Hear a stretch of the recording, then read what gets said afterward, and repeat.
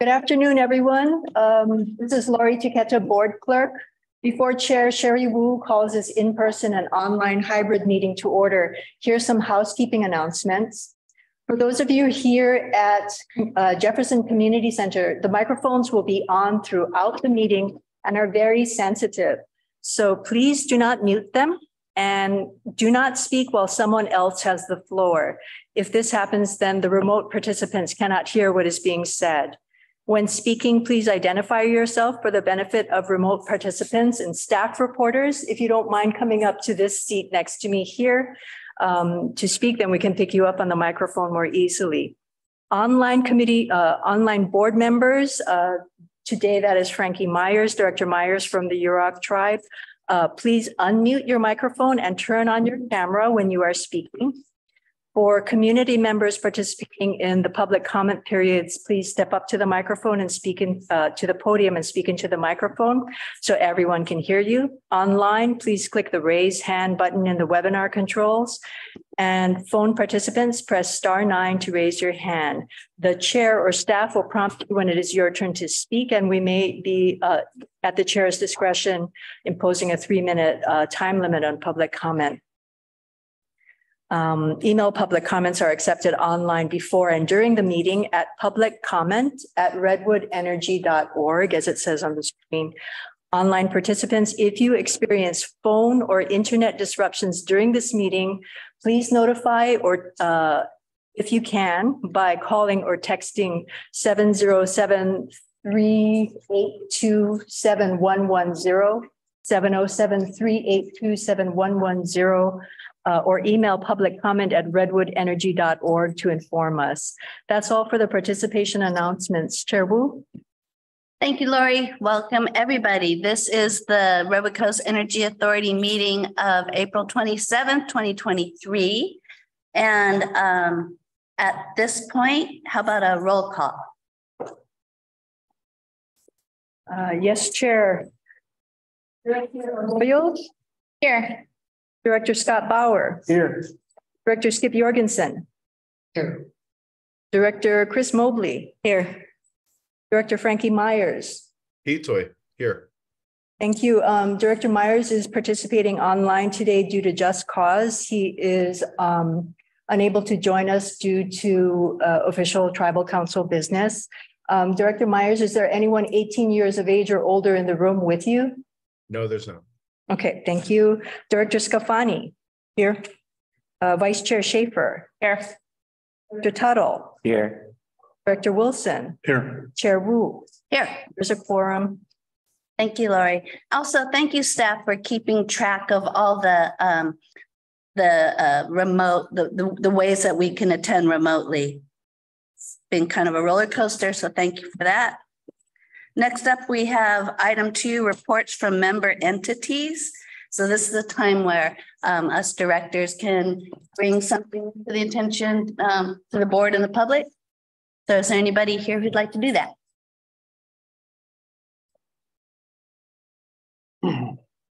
Okay. Looks like we are good on that. Next up is time for oral communications, and this is the time for um, people to address the board or submit written communications on matters that are not on the agenda. And at the conclusion, um, we can respond to the statements or comments, but we won't be taking any action, um, at least not now. So are there any oral communications first uh, here in the building, in the room? Not seeing anybody. And then um, I can't really tell if there's anybody out online online. Um, so far, I only see staff in our okay. attendee list. Okay, thanks. All right, then I'm going to close oral communications. Next up, we have consent calendar. All matters on the consent calendar are considered to be routine and they're generally enacted in one motion, but we can also pull things if we want to. And um, here are the items on consent calendar. 4.1, approve minutes of March 23rd, 2023 meeting. 4.2, approve disbursements report. 4.3, accept the financial reports. 4.4, accept the quarterly legislative report. Four point five, authorize the ad hoc office relocation subcommittee to review new property listings with the executive director and staff and approve the executive director entering into negotiations and or making an offer on any suitable proper property contingent on full board approval. Four point six is approve the updated terms and conditions for the Community Choice Energy Program. So is there anybody from the board who would like to pull any of these items?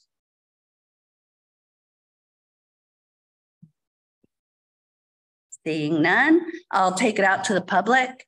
Um, is there anybody from the public who would like to um, pull any of these items? I see no hands raised. Thank you. Thank you, Nancy. All right, then, with no further ado, how about a motion to approve the consent? So moved. Second. Oh, Did you see who got that, Lori? Um, so Director Arroyo moves and to Director Tuttle, who seconds? Oh, Director Bauer. Bauer. Thank you very much. Beat me to the punch. So all those uh directors in favor, please raise your hand. So that is Director Wilson, Director Bauer, Director Scafani, Director Woo, Director Schaefer, Mobley, Arroyo, Jorgensen, and Myers. Motion passes. Thank you, everybody. There is no old business, so let's move on to new business, seven point one, which is the biannual salary survey report. And we have a staff report? Yes. Um, so this is uh, a process that RCA goes through every two years, and um, we use a board adopted compensation policy that outlines how we review uh, salaries using um, labor market agencies and benchmark classifications of positions within each um, uh, within each agency. And so uh, we the board approved us to compare to 10 different labor market agencies. And those are on the screen. They're a combination of uh, some of our member agencies, other similar sized uh, utility districts, and other CCAs um, to get a comparison of, uh, you know, salaries that from agencies that we may typically lose employees to and agencies here in our own area uh, you can go ahead and next slide. Uh, so in the staff report has all the numbers of you know what we found. Um, we compare the mid-range of job classifications that uh, match classifications here at RCA, and we do this by asking each agency to provide us job descriptions, and we do an evaluation um, with our own job descriptions internally. Um, so the results boiled down our uh, RCA, our labor market agencies on average were 12% higher than RCEA. Um, their range was between 7 and 25%. They, uh, and we excluded the executive uh, director from, from this uh, average percent. And then just as a further, you know, comparison of what's going on, we looked at uh, the Social Security administration COLA from the last time that we did the uh, labor market or the, sorry, the biannual salary survey, which was in 2021, April of 2021. And that was uh, almost 15%. And then the consumer price index uh, for the all urban consumers West re Western region uh, is a 13.5% increase. And this is over the same time period between uh, the April 2021 and and now. So next steps, uh, what we do is we just present this information to you now as an informational item. You're not, uh, you know, making any decisions on salary increases for staff now.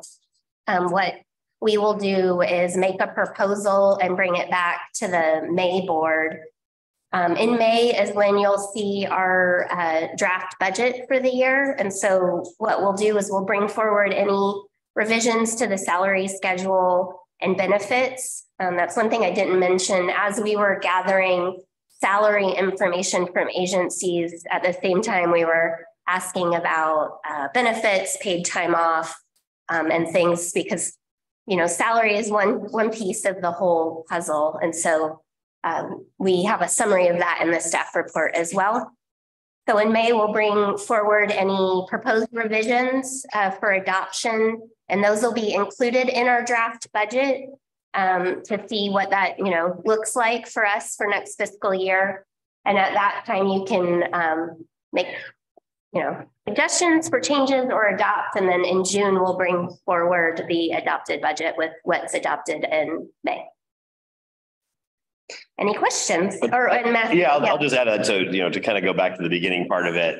There's sort of two steps to the, the RCEA compensation policies that the board adopted. There's, there's a, you know, a set of salary ranges that have, you know, multiple steps and people advance through those based off of performance and, you know, longevity with the organization. And then the ranges themselves, every two years, we go through this, um, this process that the board adopted back in 2016 to sort of you know do the the cost of living part of it of like okay do we need to move the ranges and so this is the sort of are the ranges right and we base it off of a midpoint and then it goes you know um, steps down and up from that for the range and so this is the the cost of living piece and then you know the the performance part of it for individual employees as part of their report uh, you know evaluation process and and we'll we'll be bringing. I'm going to talk about this a little bit later in summary, but um, we'll be having a a finance committee meeting in advance of the May meeting to kind of go over the draft budget, which would include any um, elements uh, related to this that are being proposed, and then that'll go to you know first the finance committee, then the board, the the full board is a draft in May, and then um, you know if there's input or revisions, then it'll come back um, in June for a decision. So it's just an informational item today, but this is kind of the, the results of the, the process. Thank you, Matthew. Is there any questions or comments from the directors? Go ahead, Frank. Is this done internal or do we have an outside firm do it? We do it internally based on the policy. Thank you. Yes, the, the organizations that we reference are the, the way the policy is written is the organizations are set by the board and then it says the executive director will go and see, okay, what's, you know, what's a RCEA specialist compared to these other organizations? So, you know, it's, it's not always, it's mostly for the other CCAs, it's pretty sort of apples to apples for things like the air district. We kind of have to say, well, what's our technician versus what their technician is? You know, some of them are, you know, easier, like board clerk is one that's like, okay, everybody's got a board clerk. So that one's like, that one's easy to compare. Whereas like for the more like specific to the role type jobs, we have to kind of try to line it up. Anybody else from up here? Oh, Go ahead. Thank you. Um, I'm just wondering, who's on the team uh, that will set the salary schedule proposed? So, so Are you- titles or, So the, the schedules are sort of a, and, and um, we could have included that, but Yeah, um, no. it's, it's, um, there's basically like ten steps. So it's like step one to step right, ten, and there's a middle point, and that's what this is kind of referencing, just the middle point. We do have some positions that are like have a like technician, senior technician, so the midpoint of that is like step eight of senior, you know, so it's, it's a, there's like basically twenty steps kind of. so um, it all kind of automatically comes together. Yeah, so so the the the ranges are just, you know, a formula off of whatever this midpoint is.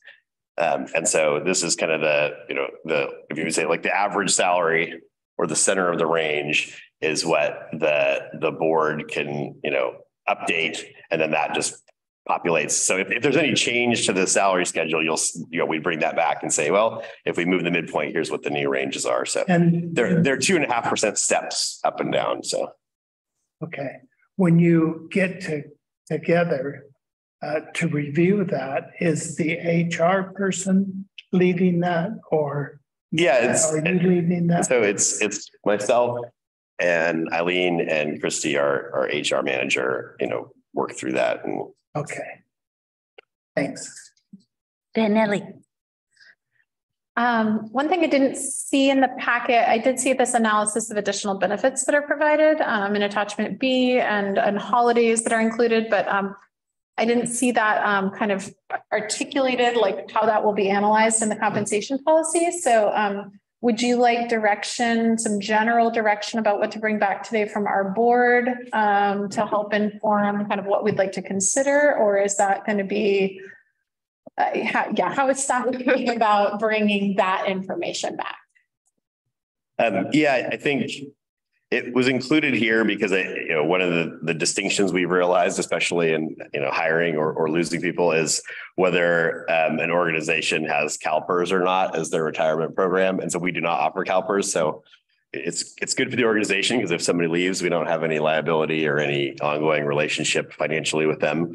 Um, but um, so, so I think kind of looking, you know, some of the organizations that um, don't have CalPERS as the retirement, um, you know, balance that out with higher salaries. So I think it's, it's sort of a, a, a, a distinction between some of those organizations. And then also, um, you know, one of the factors is like, what is our retirement program? You know, it's not a CalPERS program, but it's, um, you know, we just do a 7% match.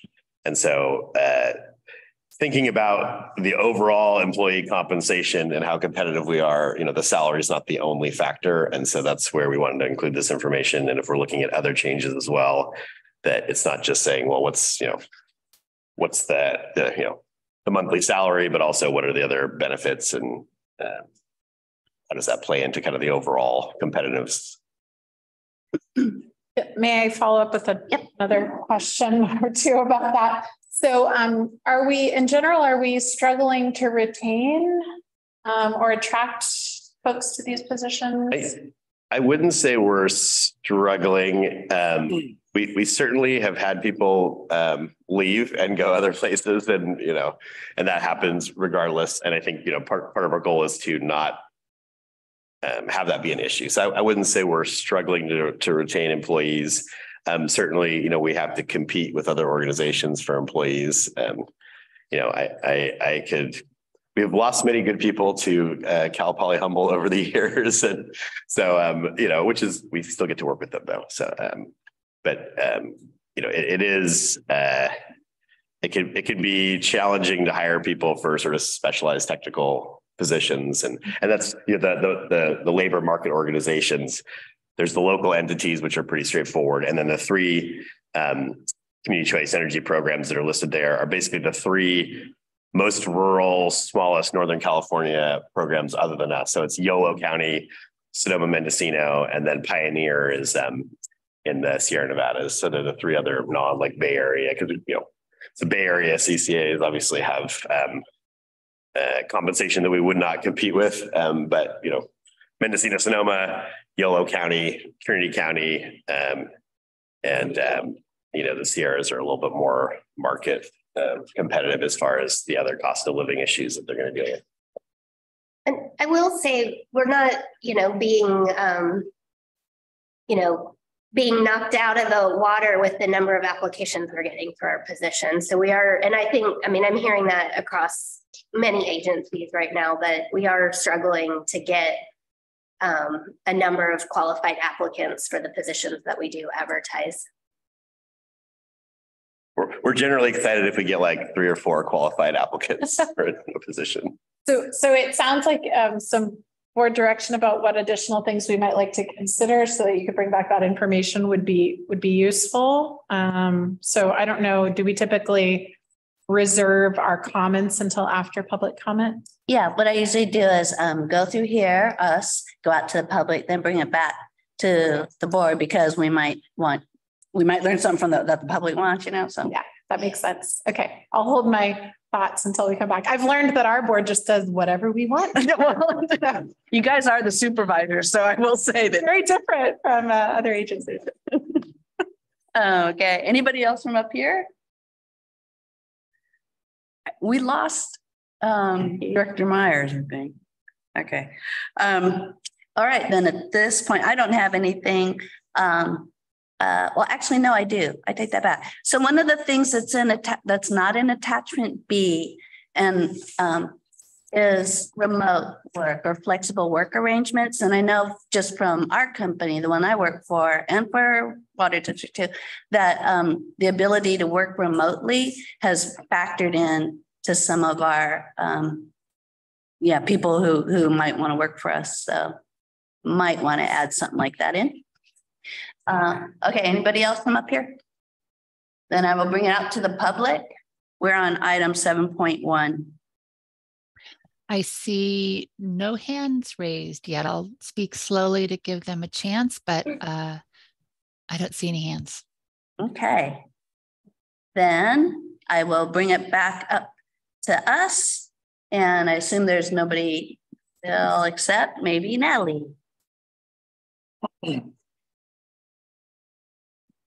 Yeah, I'll take a, I'll take a pass at this. Um, I, I mean, just seeing what has been provided here, um, it looks like the focus is really on retirement and, um, days off and, you know, I get that those are structured different ways for different agencies, but, um, I'd be interested in seeing something come back that kind of tries to get at an average of what those are, um, and include Juneteenth personally. I'd like to see us um, include that as a holiday. I mean, the, you know, many other public agencies do recognize it. So, um, you know, that would be, that'd be my interest. Um, in addition to something that gets at, you know, a, a comparable wage um, to com- comparable positions, which I appreciate being in here. And I will say, you know, I'm always sensitive to the fact that we're, we're a remote area. People kind of have to want to live here. And then when they do want to live here, we're all, all the public agencies are kind of um, looking at that same talent pool. and so, um, you know, I see people swap between agencies as there are more attractive um, benefits packages available. And so I, I don't know what to say about that other than, yeah, I want it to be as good as possible for our employees. And I also realize that that creates this sort of like a shuffle that just keeps going. It's an arms Oh, yeah. race. And um, and so maybe, you know, maybe longevity is something to consider that helps to address that, um, because then there's an incentive to kind of um, yeah, con- continue on with the same agency. Um, and I think that's pays dividends to have. So I'd be interested in seeing that. I don't know if other directors are interested in looking at somewhere. Yeah, I was gonna add, just by looking at these numbers, that it, you know, we are lower in salary range than a lot of these places, you know, at the midpoint, and to see that significant of a salary increase in a quick amount of time isn't really that, that feasible. Um, and so to really entice good candidates by upping these, some of these benefits, things that make it almost easier, maybe easier to fit into a budget. And I won't say that to budget people, but um, just, I- I think that could make, you know, perhaps a lower salary, salary more enticing, kind of like Natalie was saying. So um, I would agree, just looking at some of those things, longevity pay, the extra holiday Juneteenth, I know our agency added that in. That was a big thing in negotiations too. So um, Uh, go ahead, Scott. I, I agree with both Sarah and Natalie. It, you know, the, the sweeteners, as they're called, you know, like longevity pay, employee paid life insurance. I mean, those are, those are great features that you look for when you're going for a job. And I will say that, that we should be at the mid-range for salaries. I know we're just not wanting to spend money willy-nilly, but uh, you know, retention of good employees is important for every organization and our, and my department that I work for, you know, we're struggling with that too. Because salaries haven't gone up, inflation's eight percent, we're all losing money. So we have to recognize that, especially, and we're rural and we're lower cost of living, but housing's going up. So we just need to consider being competitive in this really tight labor market. So I'm supportive of really looking at it hard and figuring it out. Thank you.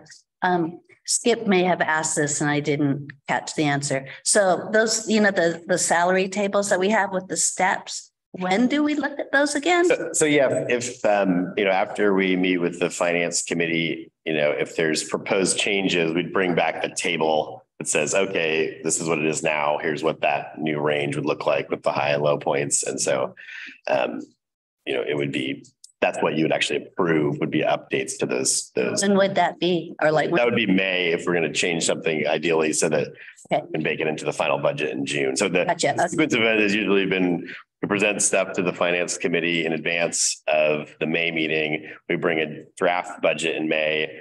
includes any proposed, you know, position additions, any, you know, anything that's going to impact the budget. Um, you know, if there's new sort of program funding allocations to get the boards, um, you know, approval on those so that the final budget incorporates, if you say, no, we don't want to add that position or "No, we want to change this, that so that the June budget incorporates any input from the board in May. So it'd be May is the, Okay, so then, given that, my question kind of back up to us here is I've heard that um we're a little concerned about that we're some percent, you know, low generally when you look at the midpoints. So it is our direction to staff and the subcommittee then to look at uh increasing those steps or doing whatever we need to do for those steps to make it matched to make it a little closer to what this salary survey is like? Is that what I'm hearing? and, and, and I'll just say, you know, um, you know, two things. One is, you know, we, we only do this every two years, so it makes the percentages look a little bit, you know, if we did a cost of living adjustment every year, you know, if anyone's bought a strawberry recently, you know, that things have gotten more expensive. Um, so I, I think we will be proposing some adjustment. You know, we, we need to work with the finance committee and, and kind of run the numbers and see how that fits into the draft budget. But, um, you know, um, I, I don't want to pretend that we're not going to bring back a proposed change because I think if we came back and said, hey, it's been two years and everything skyrocketed, we're just going to keep everybody's salary flat. So you got a 2% raise last year and you got a 2%, you know, Yeah. two and a half percent raise this year. You know, that's kind of Okay. going backwards for staff. So. Right, Nelly. We, we don't, This, I'm sorry, Frank. Uh, let's go with Frank first then. go ahead, Frank. Go ahead, Frank. I didn't, don't do a cost of living raise, do we? No, so this is the, the cost of living process. This is how we do the. cost. This is how we do it. Yeah. And, and- and probably what we're looking at is we're two years behind what the other agencies are doing. And I know um, several of the agent, the, the local agencies, Rio Dell, Fortuna, on those did a, did a big, s- one triggered the next. And I, I know stuff that Eureka's doing is, is triggering and triggering stuff. And so um, otherwise people, the local people will move around because of the, the, the big thing is PERS, which we're not doing, but the, it looks like your, your CCAs and the, some of those are not doing PERS, which PERS has its own liabilities that's coming up on them that they're going to have to deal with as government agencies compared to ones that do, that don't. So, but I would like to see us get to a, to a, a competitive mid-range level, which would, which should certainly be more than two and a half percent. I mean, it's, uh, and that, and that's, you said that's part of what's discussed in the finance. committee. Who, who's on that finance subcommittee? I know I am, but just, I'm on it. Yeah. And I forget who else is on it. Am I on it? Yes. I think you are. I think you might be. Did you get an email? Yeah. Check your emails. Okay, great. okay. Good, Nelly.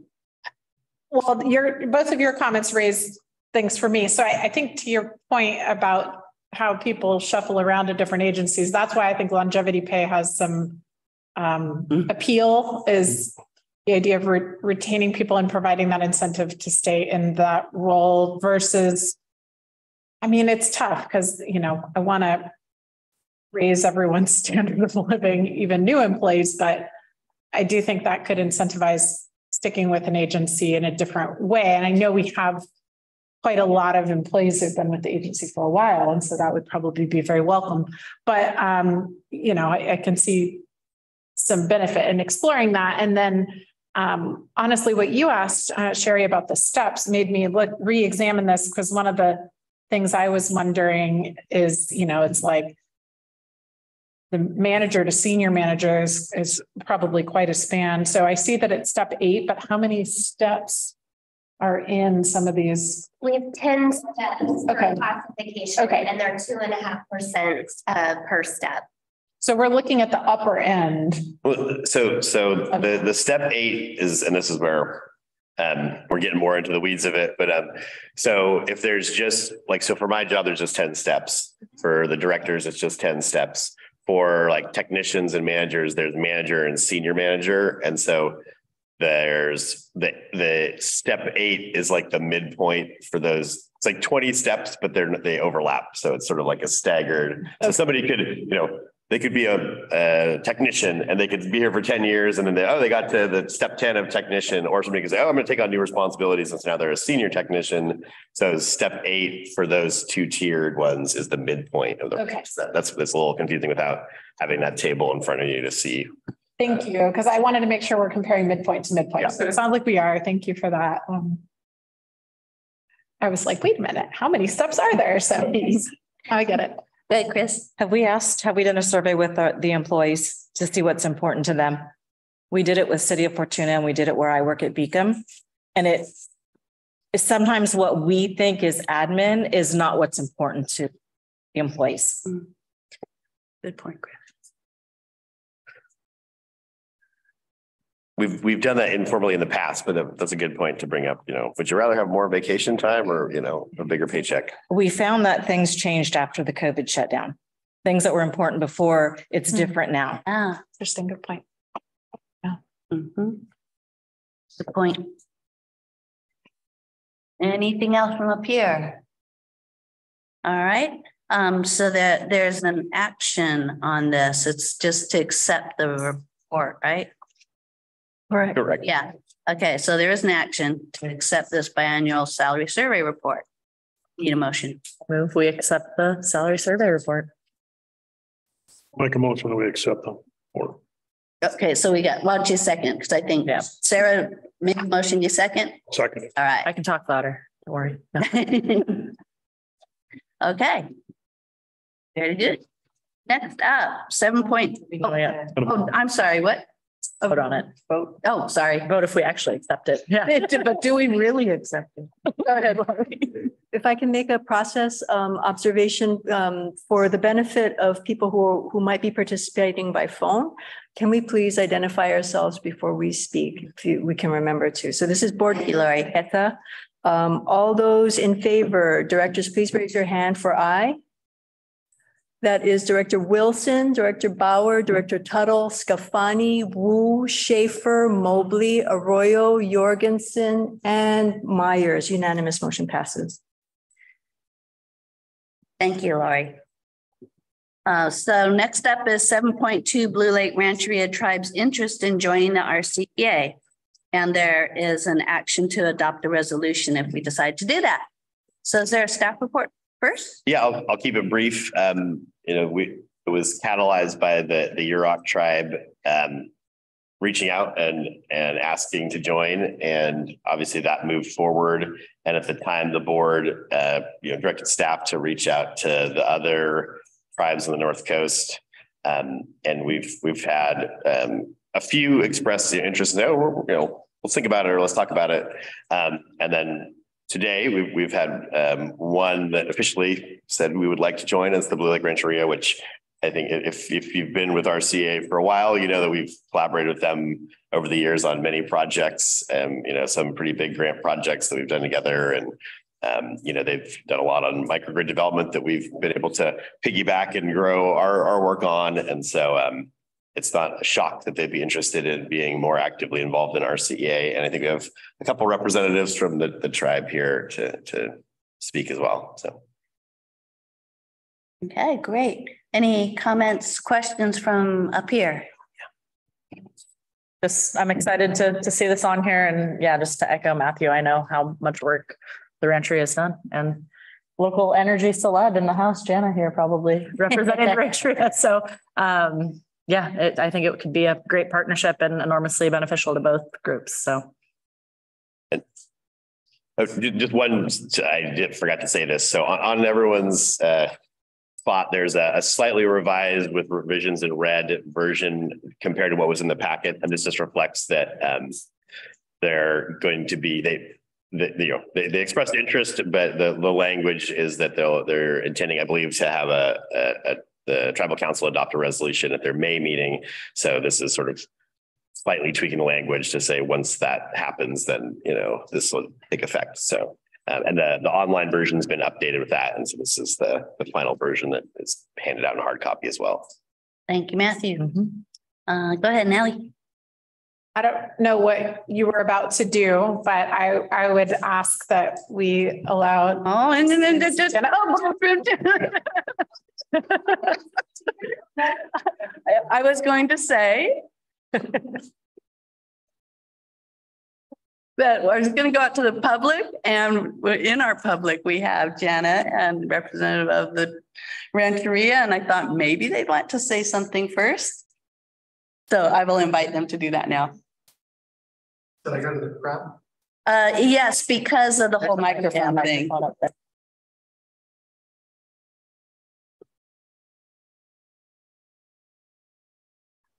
It's okay.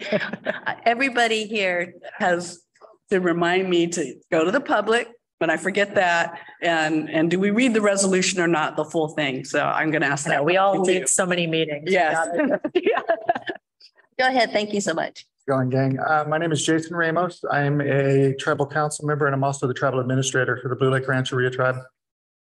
I don't know all of the board members here, but I do know a lot of your staff. A little bit about me. Um, of course, born and raised in Blue Lake, member of the tribe.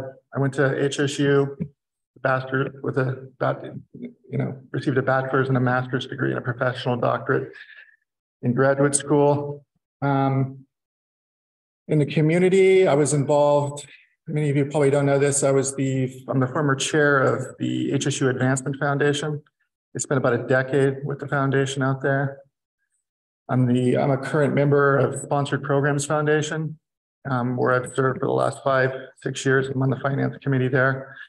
And I serve the university also on the Humboldt State's, um, Humboldt State University's Real Estate uh, Holdings Division. Got a long history with Schatz Energy. Um, of course, my distinguished uh, colleague Jana, most, most of you folks know her work in the community. It's been pretty fantastic. We see uh, joining the board as being one of those things that's uh, kind of a natural fit for us. We've been partners for a lot of years on a lot of different projects. You know, a lot of your chargers are out at our location. Um, Of course, uh, we helped each other uh, first in the development of our microgrid, and then we were able to kind of pay that back uh, with the county and the development of the airport microgrid by sending some of our personnel over there.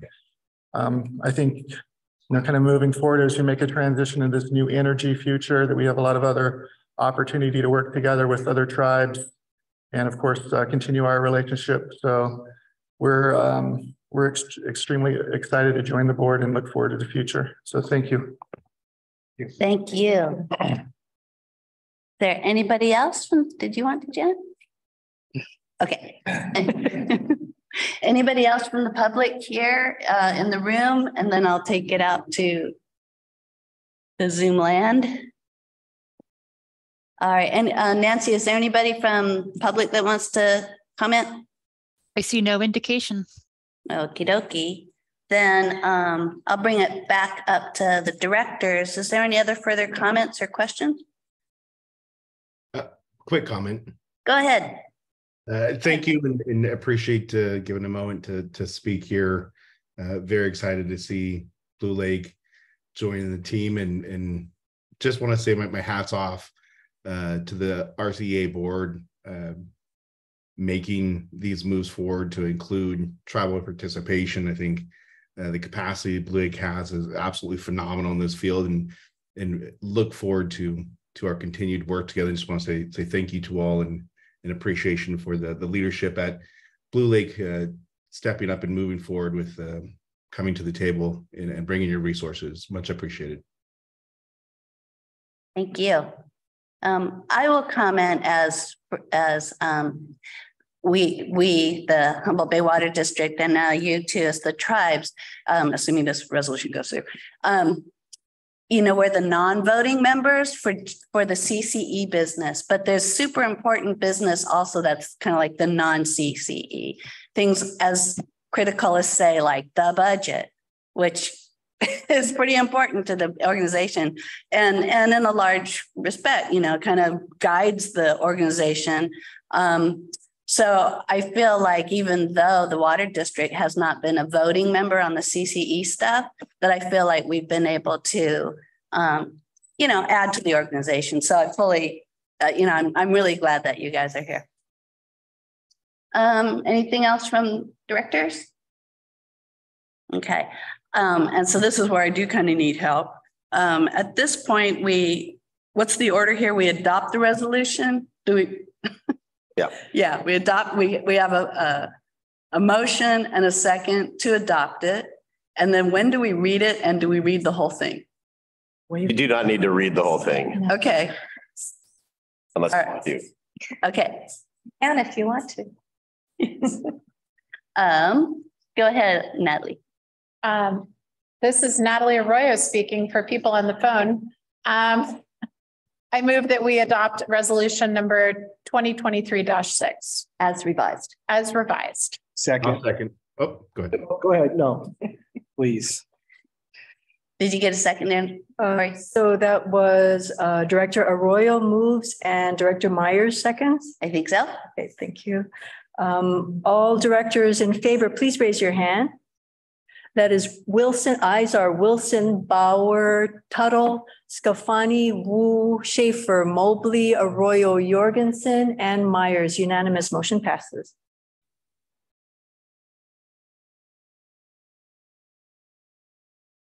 Thank you, everybody. Welcome. Process question. Yes. Do you just jump right in or is it the next, oh, they have to. I think this is. Oh, I think they have to do their Yeah. thing. That's okay. It would be at the board's, I think, chair's discretion if you wanted to have them participate, you know, not in a voting capacity, but So there can be preferred public. I just created that myself. Okay, um, moving on, we are now into the CCE business. And um, we confirm that there's a quorum and I believe there is. So the next thing up is old CCE business with which there is none. And so now that moves on to item nine. And the first one is quarterly energy risk management report.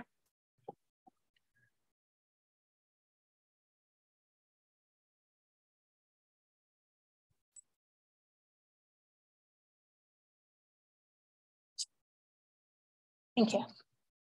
Uh, Hello, everyone. I'm uh, Jacqueline Har um, from the Energy Authority, and I'll be giving the the quarterly energy risk management support. Um, It's great to see all of you in person again. I'm really excited to have the the in-person presentation. Um, I have a few different things for you today. First, uh, a financial update, including a revision that we've done to further delay the Sandrini Solar Project at least in modeling, there's still hopes that it might come online further, but you know, we want to be conservative in what we're forecasting so that we can plan ahead appropriately. Um, just a kind of state of the market address. Um, it's not great news, so putting that that right there in front of you. Talk through a little bit, you know, give you a little bit of background so you can understand some of the things that might be coming to you uh, from the CCE uh, staff later this year. And then um, a, a final item narrowing in a little bit on uh, environmental procurement for 2023 um, and plans around that, given uh, the current board adopted goals, but then kind of the shifting market that we've seen um, that, that might play into that. Uh, so first jumping into the financial update, uh, this is a typical update with the, the addition of the Sandrini Solar. Um, and this is just an overview of the, the various financial drivers Green is positive news for um, RCA's uh, annual net revenue. Orange is kind of, and then the red is bad news. Um, you know, not given the scale there, but I can break it down as well. The first main one is that every spring, you know, kind of starting in January and going through this, this, we're doing a lot of revisions to the financial modeling that we do for RCA. This includes an update to the load forecast, you know, kind of a kicking hires on all of the base assumptions that we have, um, and just kind of various uh, changes to the, the rate modeling as well. Um, and so, you know, that's all modeling changes, not, you know, physical reality, but it does impact the financial numbers pretty significantly. So the first one was just the, the revised rate modeling, first kind of tinkering with how we um, allocate different expectations of revenues from different rate classes um, as well as uh, just updating the, the rate forecast with the latest information. Um, and then one large assumption change was uh, an improved under uncollected revenue assumption. So, you know, we, we basically have been tracking where uncollected revenues from RCA customers have been. You know, they went a little bit higher during the pandemic, as you might expect, and now they're starting to come down. So we reduce the expectation of uncollected revenues, which means more revenues expected to, to come in. Um, so all of those were positive news. Uh, the one big change that was um, a net negative in the modeling changes for, for RCA was our load forecasting. So, you know, kind of the standard thing that we expect for most utilities is, you know, load is going to go up somewhere between seven and 10%. Um, just kind of as you know communities expand you know more people move into the area you know new business and that sort of thing and that had been our base assumption you know that there would be this kind of you know improvement from from what we've seen during the pandemic um, unfortunately, that hasn't played out in the historical data that we've seen for RCA. You know, loads, loads have kind of stayed lower. That could be a good thing in terms of you know more energy efficiency, um, you know better better usage of electricity, which is you know great for the environment. Um, but it does mean that there's less revenue flowing in. Also less costs, but revenues are set to be higher than costs. Um, so you know the the net impact of that load forecast going down is that it's a net negative for the um, expected annual net revenues. Um, and that's for 2023 onward. So we revised 2023's load forecast and then future years as well. Um, the Sandrini solar delay, we are now modeling at uh, as it entering RCA's portfolio, portfolio at the start of Q2 of next year. So um, uh, April 1 of, uh, of 2024 um, when I was last in front of the board a couple of months ago, we were modeling it as uh, entering RCA's portfolio at Q4 of, of 2023, so October of this year. Um, and so that does have an impact, um, less than the initial shift out um, because you know there's less solar generation during those winter months, but it does have a, a significant impact, which I'll get into in, in a little bit more detail on the next slide. Um, and then, you know, this has just been every time I think I've come up in the past year or two at this point, uh, I've always said power prices are up. And we'll get into that a little bit more when we talk about the state of the, the energy market. But, you know, power prices are up for, for this year, 2024, 2025 as well. For 2023, it doesn't matter that much that energy prices are up because RCA is already very well hedged. That means you've already done that forward procurement of your energy. Um, and so we don't expect there to have, you know, power prices can go up, but you've already bought at a set price. Um, so that doesn't have a very large impact, a very small one, but but not that big. But you know, we're still in the process of hedging out for 2024, 2025. And so as prices go up, that impacts the expected net revenues for those months or those years. Um, and then finally, this one I haven't been calling out as much, but you know, beyond just bulk energy, um, all of the what we call the environmental products, so renewable energy, the renewable attribute associated with energy that comes from renewable power plants, the carbon free attribute that comes from uh, resources that qualify as carbon free um, but not renewable, such as large hydro. Um, those prices have been skyrocketing lately, um, and we'll get to that in, in a little bit later but that's impacting uh, expectations of costs. And then RA, which is uh, capacity, which is a product that RCA is required to procure, like all other, other load serving entities in California, to ensure the reliability of the grid. Um, that price has also been going quite high. Um, so, you know, all of those combined um, are, are, leading to overall a, a net negative um, impact on, on RCA's 2023 net revenues and for future years as well. Um, digging into the uh, details a little bit more on these, um, the Sandrini delay, um, you know, we are being quite conservative moving it out to, to Q2 2024. Staff is in communications with the developer, uh, with various agencies. Actually, sat in on a meeting earlier today uh, where you know they're trying to get the, the solar prod, the solar panels, um, you know, built are off off the the the boats that they're currently on. Um, you know, as long as we can ensure that they were, you know, not not built by, um, um, you know, forced labor in China, um, which is you know our understanding of those panels that they are um, not not problematic in that way.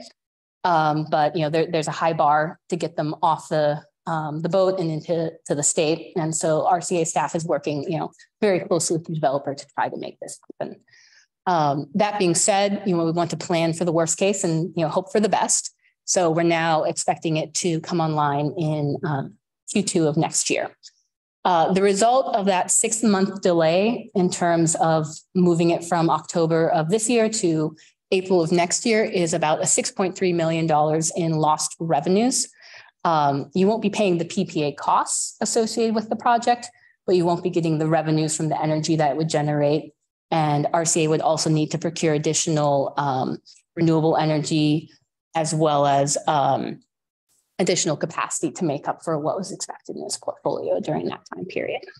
Um, and so, you know, all of those combined lead to the, the 6.3 million uh, net negative impact. Um, you know, just as a reminder, when I came last month, we were talking about the, the shift out from the, or a couple months ago when I came in front of the board, we were talking about the shift out from the initial June 2023 COD to October. And that impact, even though it was a shorter time period, was much higher because you're losing, you know, some of those bigger solar generation hours and more, more environmental attributes in RA.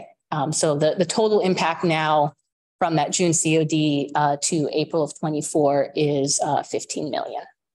And, just to, to touch on, we talked about this before, but the, the delay, you know, the big driver of the delay is there was, you know, federal laws that outlawed the use of solar panels um, that were produced with forced labor in China, which is a good thing.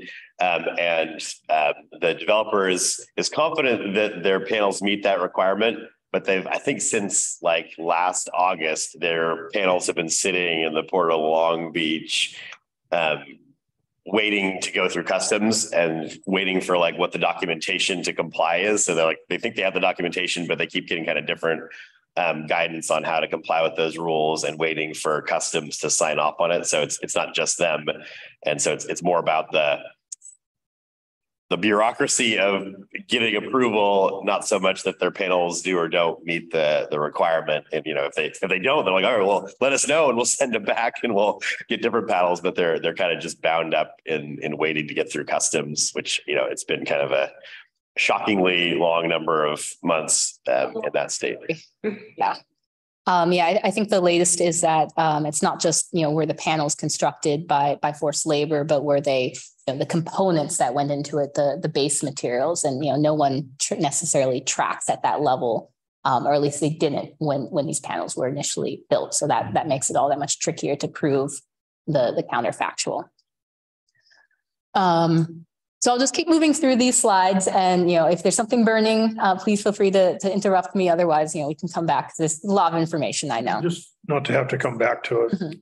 Um, because of the Sandrini thing, I was looking up on stuff on, particularly the Department of Labor is telling us that over fifty percent, and their numbers I think are low, uh, is done by forced labor and child labor from China and particularly in the EV or the lithium battery uh, section is the heavy side. Also on these on these solar panels. So, I mean, is it realistic that that we're not trying to purchase something that that's going to turn out to be produced by forced labor, or is it just I, I mean, it's so it, it it sounds like they're, you know, our understanding is obviously they've been sitting there waiting to to, to document it. You know, they the the developer said that they believe that they've gotten all the necessary documentation, but they're waiting for it to be reviewed. And if it if it doesn't pass, then it's going back. So I, um, you know, I'm optimistic that it would be it would be pretty appalling if they took a year and then said sure to panels that were made with um, forced labor. So you know, I I, I I'm I'm hopeful that whatever actually gets installed should should meet a pretty rigorous standard. So do we know what the brand of modules being used? We do, but it's confidential. For the the supplier. I guess we don't know the brand, we know the supplier. All right, um, moving on, you know, kind of just the, the standard slides on uh, the changes in, in the rates, you know, very little actually to, to report. Um, so the solid line, which is almost basically on top of the, the dashed line is uh, the, the current rates. The dashed lines are the rates that you saw when I was back here in February. Um, or I guess on Zoom in February. And uh, the blue line is the, the forecasted PG&E generation rate, and the red line is the, the forecasted PG&E uh, power cost um, indif- indifference adjustment.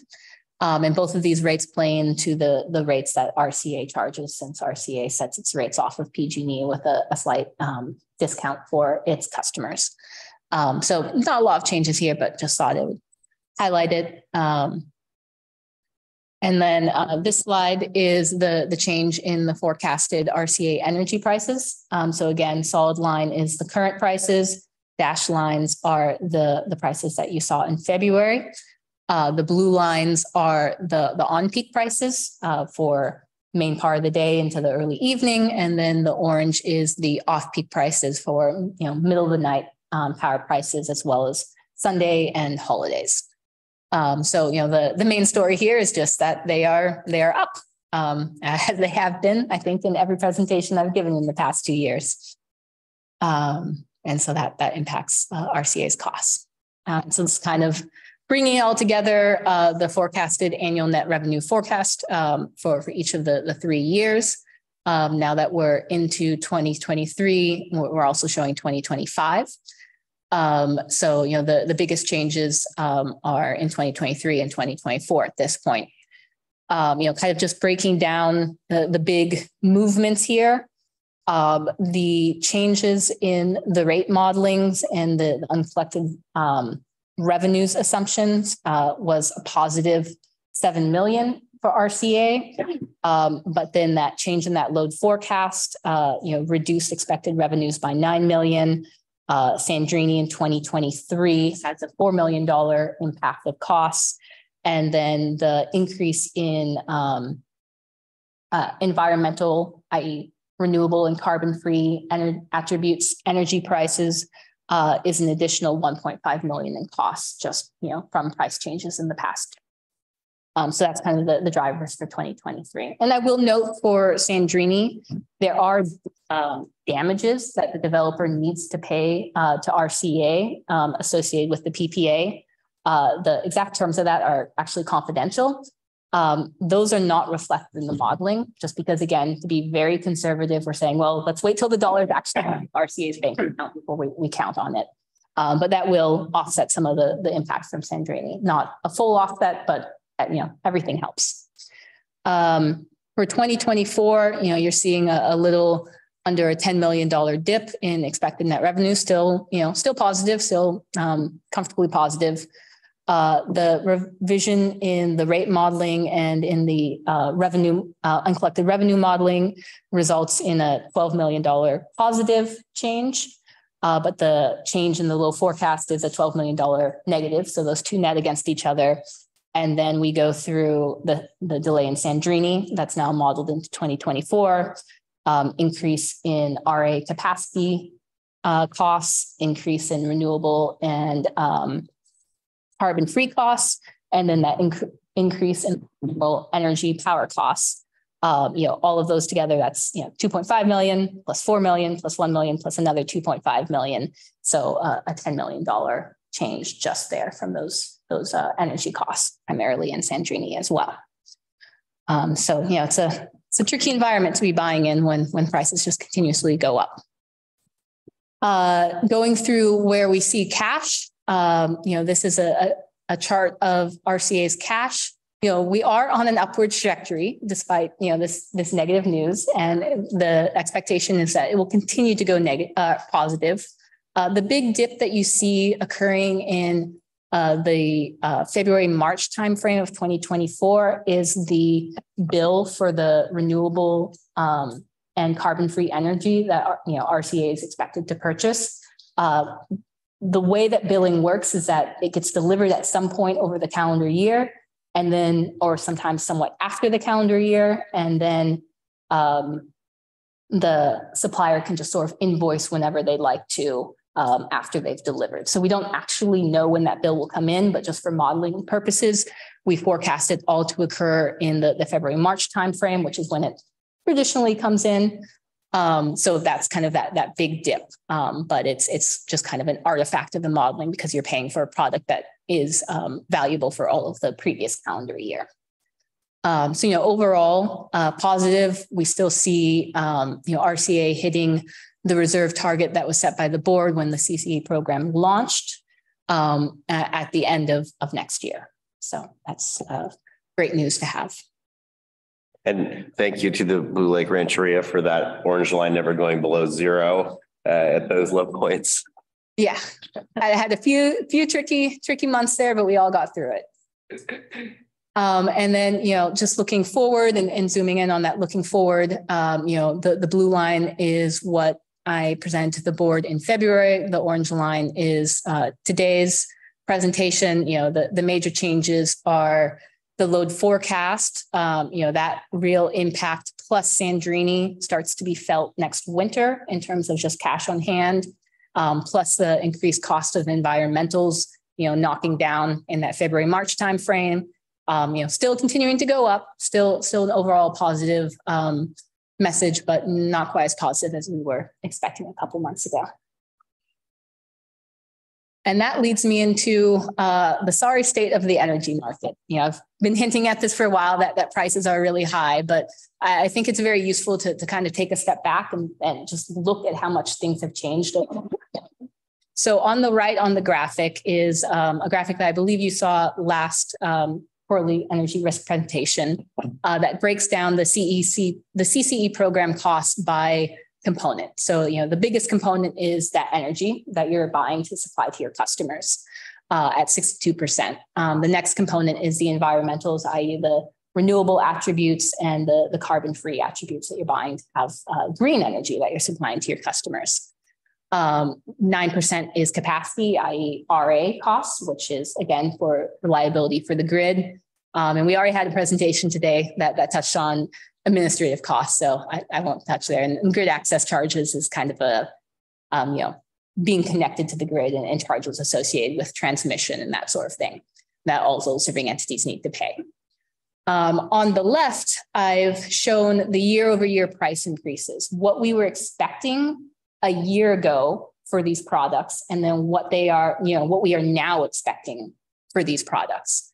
Um, so first is energy 2023 Q3, that's when energy is the most expensive around the clock. So not peak or off peak, but both combined. Um, that's increased 13%, right? So that's not a huge increase, but it's still a healthy increase above inflation. Um, and it, it, makes up 62% of your total costs. Uh, the environmental components, renewable energy and the carbon free energy, those, like I said, have skyrocketed. Um, so, you know, RCA is not the only entity out there with a renewable power plant that is delayed. That is the, the state of all of California and, and much of the nation, really. And I'll get into that a little bit more on the next slide. Um, but because everyone has products or projects that are delayed, you know, the, the hunt to find renewable energy to ensure that you're going to have a, green power content label for your customers has really pushed the price of that product up. Um, you know, 250%. That's that's massive. Um, Carbon free energy, you might be saying, wait, carbon free energy comes from large hydro. California had a ridiculously great water year. Why is the price going up so much? Um, the answer is really, you know, uh, twofold, and I'm going to throw all of the responsibility on our uh, Pacific Northwest neighbors. Um, so California had an amazing water year, um, you know, one of one of the best in in record history. Uh, technically not the best because the, the, the, way we benchmark it has changed, but that's insider baseball. Um, but yeah, a really great water year. However, the vast majority of carbon free energy that is uh, generated in the Western Interconnect actually comes from the Pacific Northwest. And the Pacific Northwest had a worse than average water year. In addition, uh, the state of Washington has introduced a, a carbon tax and, and, a carbon program for the state that is keep that is um, providing an incentive to keep that carbon free energy in Washington and not bring it down to California, um, as, as historically been the case. Um, so because of those, you know, components, you know, great for state of Washington to have a carbon program, um, but you know, unfortunately, the, the, the bad water year in the Pacific Northwest and the combination of that ha- have pushed up the the carbon free um, costs. And you know, both of these products, I also say, you know, they're expensive. They're also just difficult to find. It's never been the sort of thing you just go to the grocery store and pull off the shelf. Now it's like, you know, you talk to 12 different people and you, you know, promise them I'm going to send you a great basket of like fruit at the end of the year if you just call me first whenever you get something. You know, that's the sort of wheeling and dealing we're trying to do to, to find this product. Um, and then finally, capacity, uh, 2023 Q3, Q3 RA, again, scarcer than a hen's teeth um, and has doubled its price in the past year. Um, so, you know, that that's, uh, it, it's a difficult market. And so, you know, the, the answer traditionally for getting around the sort of short-term, you know, lack of liquidity of the, this uh, product and high prices is, well, just go buy a long-term product and you'll have it in your portfolio and you'll be set. The problem with that is that that's also a difficult thing.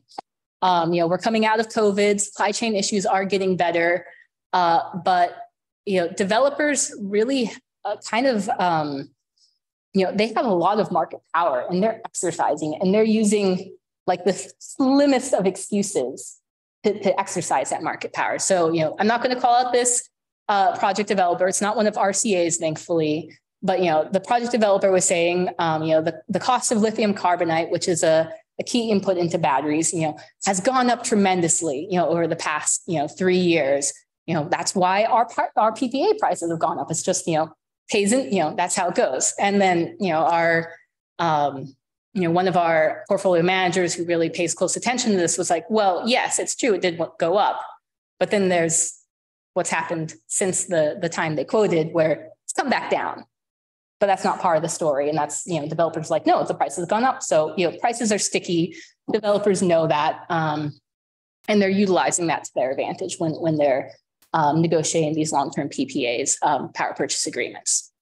Um, you know, just kind of dig into a little bit more. So, you know, like I said, supply chain fundamentals, so those components that go into building uh, these long-term power plants are improving. Um, you know, the, it's more available. It's cheaper than it used to be a couple of years ago, but there's still a lot of bottlenecks in the process. Um, you know, the biggest one, transformers, which you need to connect to the grid. You know, there's a year lead time to procure those um, you know, the interconnection queue uh, of like asking the, the CAISO to study to make sure you can connect safely into the grid. That, that has just gotten longer and longer and longer. Um, and there's just interconnection delays all over the place. Um, building transmission to, again, interconnect into the grid is, is really behind in California and nationwide as well. Um, so these bottlenecks really make a project that is viable very valuable. Um, and so the developers are utilizing that to their advantage in terms of price increase. Um, you know, the vast majority of TA's clients nationwide, not just in California, but nationwide, have had developers come back, open up PPAs, and ask for an increase of price uh, between 40% and 200%, um, which is, you know, something I would have never believed five years ago, but that, that's where we are today. Um, that's all I have. Know, not not not positive news. So, but just uh, hopefully gives you a, a taste of, of, the challenges that your uh, CCE staff are, are dealing with um, when they're they're trying to um, procure the product uh, for RCA. Uh, overall, I think you know RCA is actually set up better than than the vast majority of TA's clients in terms of you know how how they're managing this process. Um, but it's it's a challenging one. Um, and then finally, my last slide, uh, last, last item to discuss is environmental procurement. So you saw on the previous slide that um, the cost of renewable energy uh, in the short-term market has gone up 250% in the past year. So, you know, more than, than doubled. Um, you know, this slide is, you know, staff has, you know, wanted to bring this back to the board uh, for the board's consideration um, you know, information only at this point for you to think about, you know, the, the trade-offs here between paying that, that very high price uh, for that renewable attribute versus potentially reducing the internal RCA board, uh, board adopted target. Um, so the, the far right, uh, to walk you through the slide, the, the blue is the expected um, RCA net revenue at the end of the year.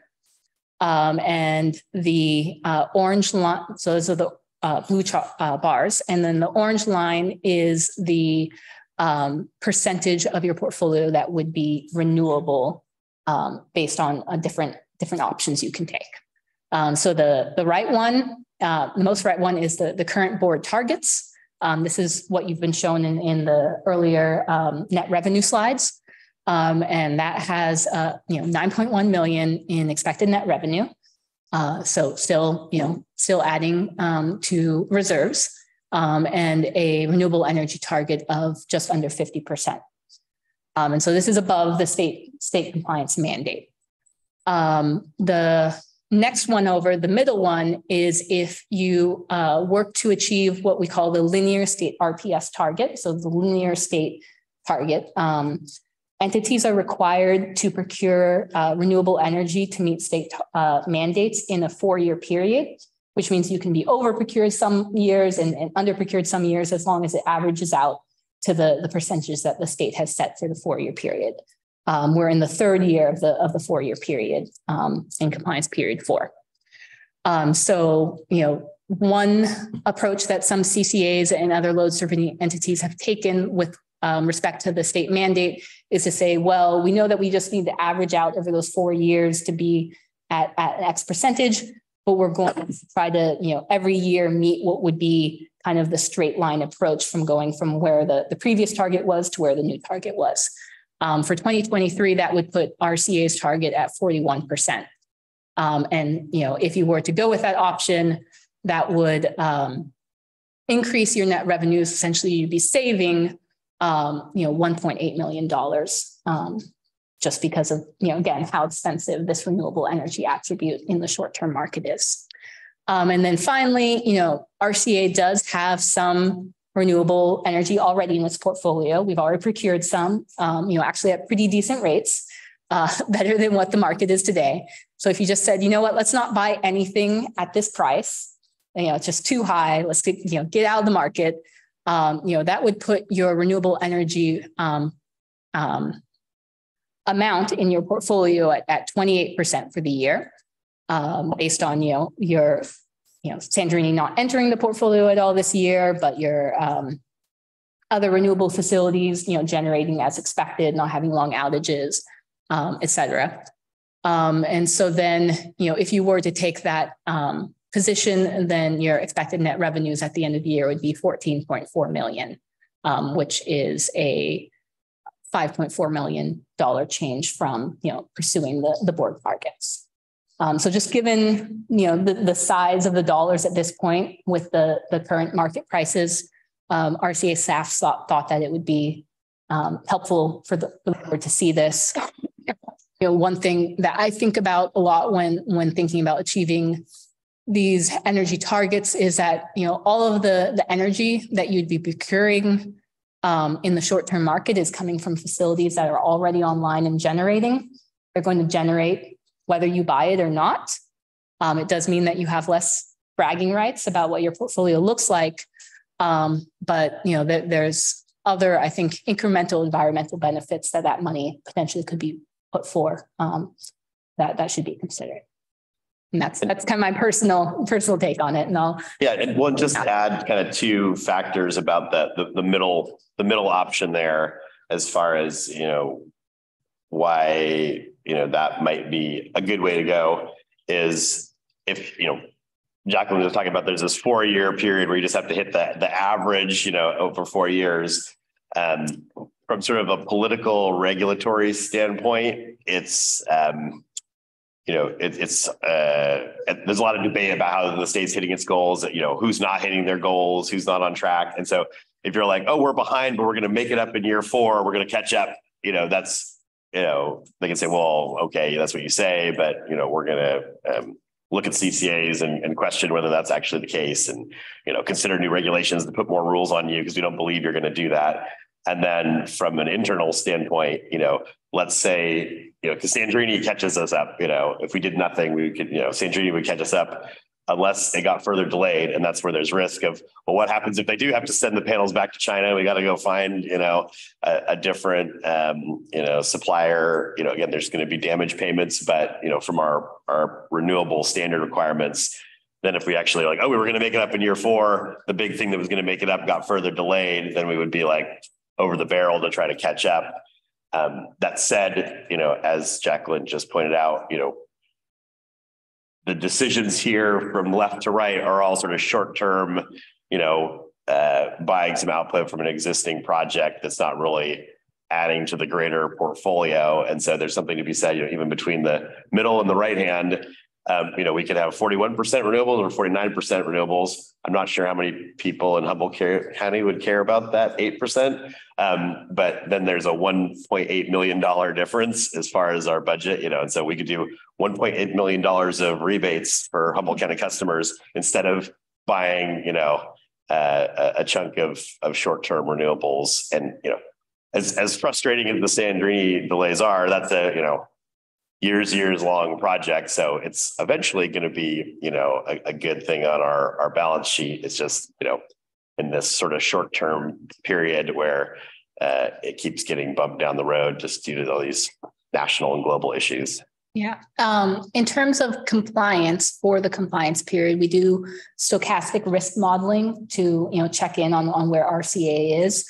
Um, you know, even with the Sandrini delay, um, our stochastic modeling suggests that uh, there's like about a 95% chance that RCA will meet its compliance target, even if you do nothing in terms of procurement for, for 2023. Um, so, you know, that's, you know, very good likelihood, you know, kind of the, the risks associated with that is if one of your power facilities had a, had a long outage, if your load suddenly jumped dramatically, um, or if uh, Sandrini was further delayed. All of those would be risks that would then, you know, potentially, you know, put you at a higher level of risk. Right now, it's very small, but then at a higher level of risk of, of not meeting compliance. Um, so that you know that's something to think about. You know, we will also have 2024 to potentially do short-term procurement, um, and we do have you know a number of of months left, right? Like we don't have to buy today. Um, that being said, the longer you go into the year, you know, there's less time period for facilities to generate uh, renewable energy, and you need to buy the renewable energy before it generates. Question. Yes. Go ahead, Frankie. Yeah, when, you know, when is, when do we need to try to make this decision and when should we be thinking about making a decision to buy? Um, I'll leave it up to staff regarding how it can work because I know my item is just an informational item. Um, but in terms of of when, you know, it's one of those things that's very much like, uh, you know, earlier is better um, because that just gives us more time to, to go out and do that procurement. Um, I would say that ideally, before we get into Q3, would be best because you know Q3 is a is a big generation time period. Um, and so we would just want to be, you know, out there looking on the market. Um, you know, like I said, it's um, you know, it's a it's a very illiquid market. So it's it's tricky to find this project uh, in general. And I'll just say we're, we're going to bring something back, um, you know, in May as part of the budget because you know if we're full speed ahead, we need to put that in the budget, and if we're not, and we're going to do something different, you know, then we need to add it to the budget. So I think at the May meeting, we'll kind of, you know, bring this forward as more of like a recommendation or some, some options for the board to, to make a choice on it. Okay, thank you. Oh. Go ahead, Nellie. Mine might be a little complicated. Do you want to go first? Sorry, um, Sheri. No, go ahead. I didn't. It's more of a, of a complaint. Not the situation. Um, about the messenger too. No, no, it was a great presentation. I, I'm just so incredibly frustrated how hard we work to procure renewable energy.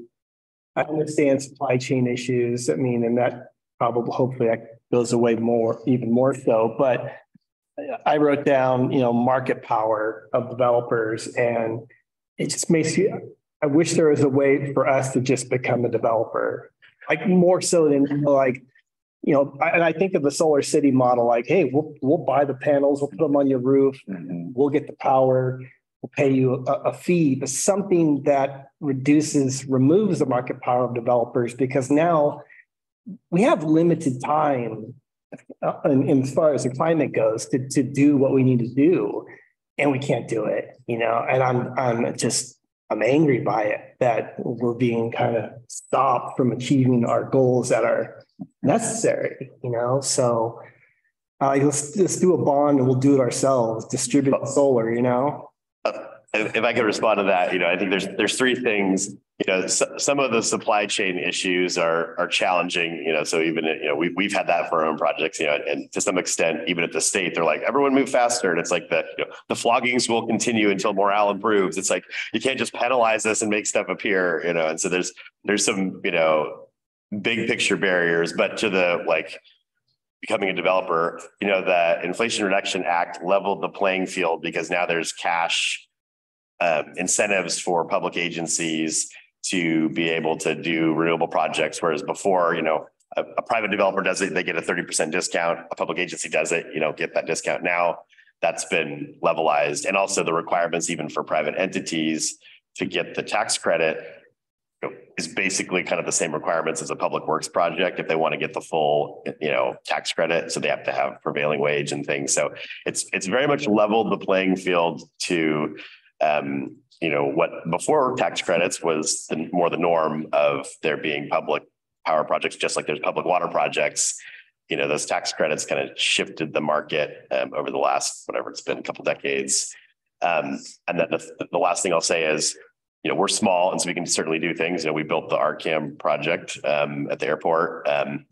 But uh, you know, we're a member of California Community Power, which is the joint procurement um, JPA that was set up with not all the CCAs, but several very big ones, plus some of us small um, uh, CCAs. And so that's been a big topic of conversation there of, hey, now that there's this level playing field, does California Community Power as a as a joint procurement entity with, you know, strong credit ratings amongst, you know, those big members, you know, is that a vehicle to actually have, you know, public power like projects that are being built by the CCAs themselves, you know, we would be a little barnacle on the big guys of the offtake of that. But you know, things like San Bruno could now be done actually by CC power um, rather than having to have a developer be the one uh, moving it forward. So I think you know, stay tuned for you know maybe some changes. And I think the frustrations of all this are probably building some momentum of people wanting to look at it a lot sooner than maybe they would have if it had not been all these other kind of uh, pressures and and challenges kind of piling on top. Okay, I do have one. Go ahead, Nellie. Uh, Pardon me while I work to articulate this because it's a little bit complicated. So something I didn't bring up, I, I thought about pulling our legislative um, up or legislative report, or quarterly legislative report to talk about this, but I figured it would kind of fit in more with this item. Um, so there is another assembly bill that was basically a version. I mean, the governor was proposing a trailer bill to do this to create a central purchasing, a procurement, excuse me, entity. Um, uh, but then Assemblymember Garcia brought it forward. Uh, it's Assembly Bill 1373. It wasn't on our list of um, legislative analysis, but the Cal CCA already wrote a letter taking a position about it um, just this week. Um, but it came up to me um, into my world because it was one strategy, I think, to buy um, to, to create an entity to buy power really quickly to help facilitate the offshore wind development process. Um, but it looks like Cal CCA's opposition to it is largely about like how CCAs fit into that central procurement process. Um, but since it seems like this was something the governor wanted, I don't know if it's like, you know, last I heard like our county's legislative analysts, they were like, this looks like it's going. It looks like it's got legs. Um, and so there's some provisions to the bill text that I've just seen over the last few days. So they're like, I don't know, they're editing it now because uh, that's the time of year that it is. Yeah. But it does make me wonder how will that do, do we have a sense of how having a central procurement entity might factor in, if at all, to our procurement picture? Could and and and should we I kind of say I hate to wait, but should we wait until we have a clear picture of that um, to make a decision about this? Um, I hope I framed that in a way that was clear enough. Matthew, maybe I'll just take a big step back and then let you kind of take the the more RCA centric approach. Um, you know, central procurement entities. You know, we have one for RA, kind of haphazardly. It's, it wasn't very well developed. Um, it hasn't worked out very well my understanding of this bill is that it's a little bit more broad reaching. It's, you know, for the entire state. Um, you know, right now, the big issue that we have with long-term procurement is that, you know, everyone is trying to get it. And there's very limited number of projects that are like ready to go. And that's, you know, a, a question of the bottlenecks, particularly around transmission and interconnection delays. Um, so kind of my economist perspective is that, you know, having an entity aligned with the state that could potentially bulldoze over some of those delays and really push them forward um, rather than you know every load serving entity saying hey my project is delayed. Can anyone do anything about this? and you know kind of just jostling you know trying to get get faster in the queue while as one entity could potentially like get over some of those bigger um, road blockers would be helpful. Um, that being said procurement takes a long time um, energy procurement, you know, like kind of the rule of thumb is it takes 10 years to build a big power plant in California, like from, from start to finish. Uh, developers typically bring it to you when they've you know, already put four or five years into trying to get the project underway. Um, so I don't think that, you know, wherever that central procurement entity goes, that that should necessarily dictate RCA's short-term, shorter term decisions, but it's definitely something to be paying attention to. No, Matthew. Yeah, I'll just add, you know, so I don't think it impacts short-term decisions. This would be like for long lead time giant projects like offshore wind. I would say, um, you know, there's there's not broad support, um, you know, among CCAs, and partly because the the the the the advocates for it are um, you know, I would say regulators who want centralized control at the state level, and then developers who want sort of a blank check from the state. And so I think, you know, the kind of like, oh, developers have everybody over a barrel. Well, having them say, well, the Department of Water Resources is going to buy all of it and we'll pass the bill on to everybody else and tell us your price is, um, I think, not a very market. It's not a very capitalist way to do it. And and also, you know, I think some of it's, you know, a reaction to all of these supply chain issues and saying, oh, well, the problem is that CCAs and other people can't procure. And so we need this big centralized thing to do it.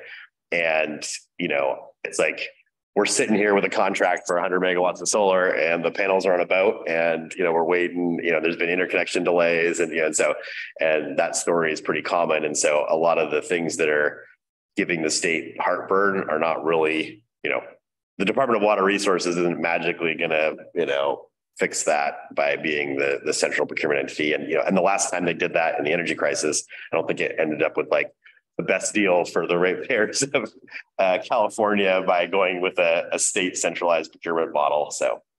Yeah, I think I, I get that it would take a long time to implement these projects to then be buying the energy, but I wasn't sure if um, there's, if this was really like aiming to have a centralized procurement entity established sooner, that would actually factor into some of the shorter term decisions. It sounds like that's probably yeah, years out. This would be for like 10 year long, like large pumped hydro storage and offshore wind and kind of big reliability kind of stuff, not not near term procurement. Yeah, stuff coming on in in 2030, 2035 you know, 2040, which, you know, maybe at that point it would be useful to get us, you know, that much closer to, to the carbon free goals of 2045.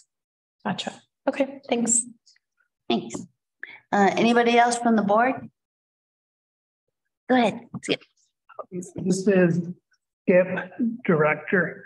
And uh, I think the slide before this one, each of your comments helped answer my question. Um, but I think I still have a question. Sure. Um, if Sandrini is a big part of our goals, a hundred megawatts, think.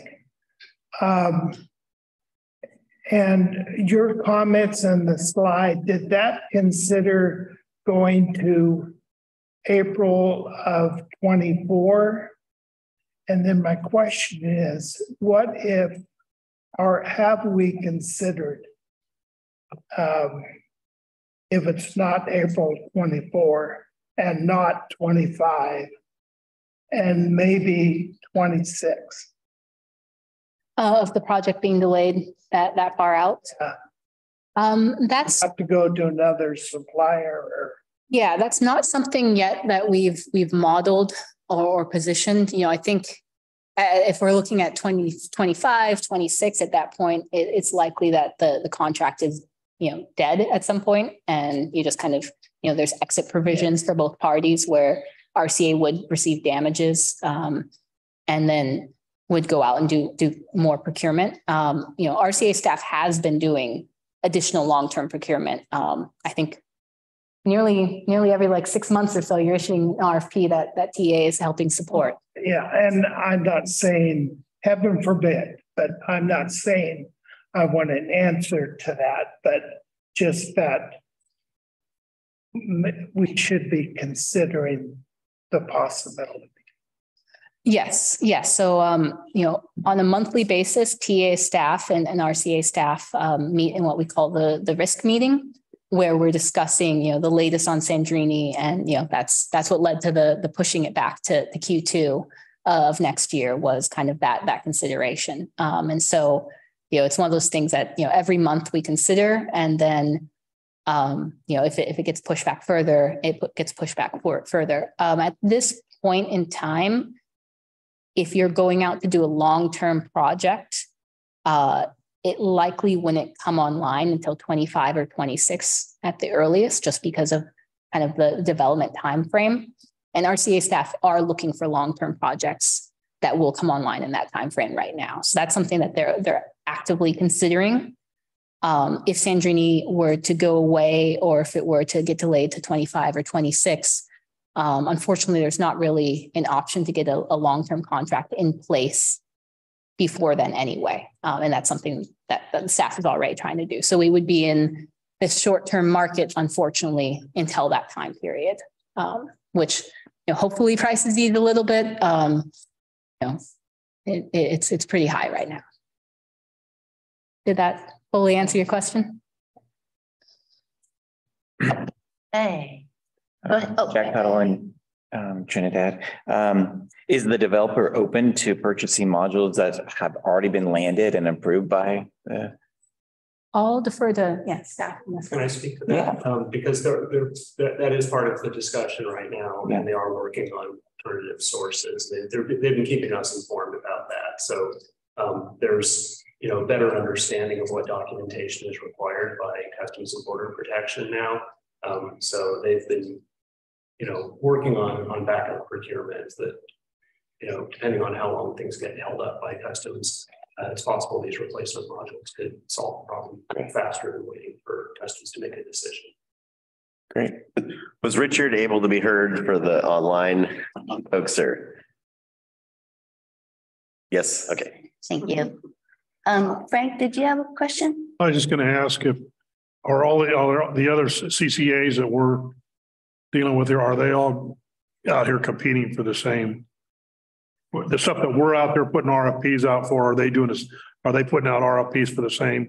Little bit of whatever's there, is everybody's after the same piece of pie? yeah, not just the other CCAs, but all load serving entities in California. So every load serving entity in California over the past uh, three to four years has had a, you know, kind of increasing requirements to procure long-term renewables and storage and, you know, geothermal and long duration storage. So every load serving entity has had their share of a procurement requirement um, based on how high their load is. Um, so, you know, all the CCAs are out there looking, uh, all the investor owned utilities, uh, direct access customers are also all looking. So it is, it is a bit of a feeding frenzy and that's definitely playing into it, you know, um, you know, 10 years ago when it was just the three IOUs procuring, you know, basically just the three IOUs doing, um, long-term procurement. If you're going to build a power plant in SoCal Edison's service territory, person who's going to, the entity that was going to buy it was SoCal Edison. You had to deal with them and you couldn't pull shenanigans like, you know, signing a contract and then coming back six months later and saying, I need to double the price. Now you, you can do that because they're like, well, there's, you know, 12 other entities looking for this product. And so, you know, you're, you're going to pay it. So, you know, that, that is an unfortunate issue that the, the market power dynamic has really switched from the buyer side to the seller side. So the, so the, the other buyers that are out there can, uh, they can bid up. We find out we're giving one price, they're gonna, they can bid that up in order to push you out to get their, whatever their margin is. Yeah, and that's something that we've seen in the short-term market a lot with the, the renewable product and with RA. Um, you know, the, the twenty twenty-three Q three RA price, you know, you see it's, it's doubled since last year. Most of that doubling has happened in the past six months as the price has just gone up. And then another person said, well, I need it. And then up, up, up. It's just really gone up quickly, um, you know, on a daily basis. I thought, saw, I think $50 quoted earlier today and, and last week it was at 40. Thank you. Anybody else from up here? Yeah. Uh, Go ahead now. Has there been any flexibility about the renewable portfolio standard just around some of these supply chain issues and stuff after COVID? Did you cover that? If so, I missed it. Uh, didn't cover it. Um, there has not been any, uh, you know, the, the state is really trying to, to march towards that, that, that, you know, 2045 goal and all the interim goals in the process. So on the environmental front, there has not been any, um, you know, discussion of adjustment. I will say that there is a, a non-compliance price built into, or penalty uh, built into the RPS program.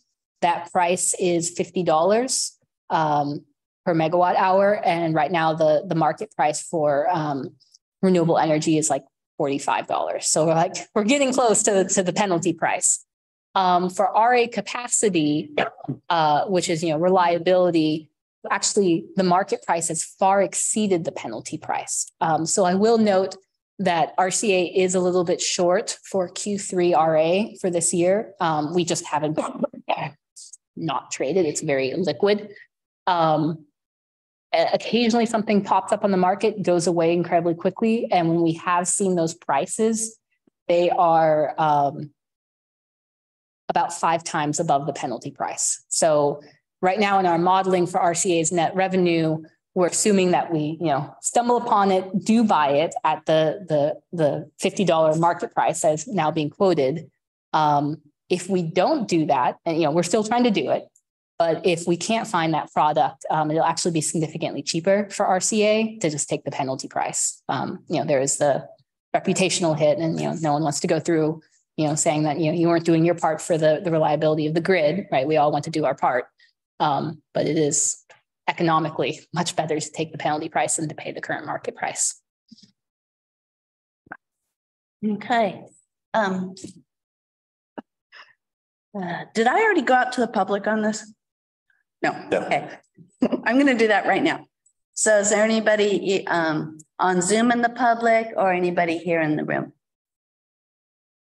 Go ahead, Richard. Can I just make a couple of comments as staff, please? You bet. Uh, this is Richard Engel from RCEA. Um, I just wanted to mention a couple of things we haven't really dug into that, that the board might want to consider as we think about that decision of where to go on our um, renewable energy procurement. Um, one is that um, uh, every uh, every year we're required to send out two different mailings that go to every household. Um, and one of those has a comparison of our portfolio against the state average, and another one has a comparison against PG&E. Um, you know, we're an opt-out program; people can choose not to participate. Um, and I, I, do think the board should consider the risk that goes with having a, a less clean portfolio than the state average, or or um, where PG&E is at, which is you know obviously the other option that our customers have um, you know, just the, the version of the power content label that's currently on our website is from 2021, the most recent one that's been certified.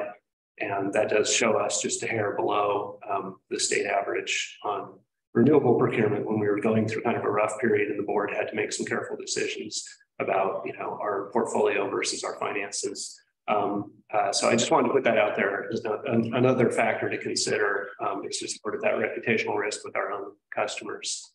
Um, also wanted to say um, when it comes to the RA and non-compliance, um, we are starting to see um, just very recently um, the Public Utilities Commission kind of using RA non-compliance by CCAs as kind of a stick to beat us with.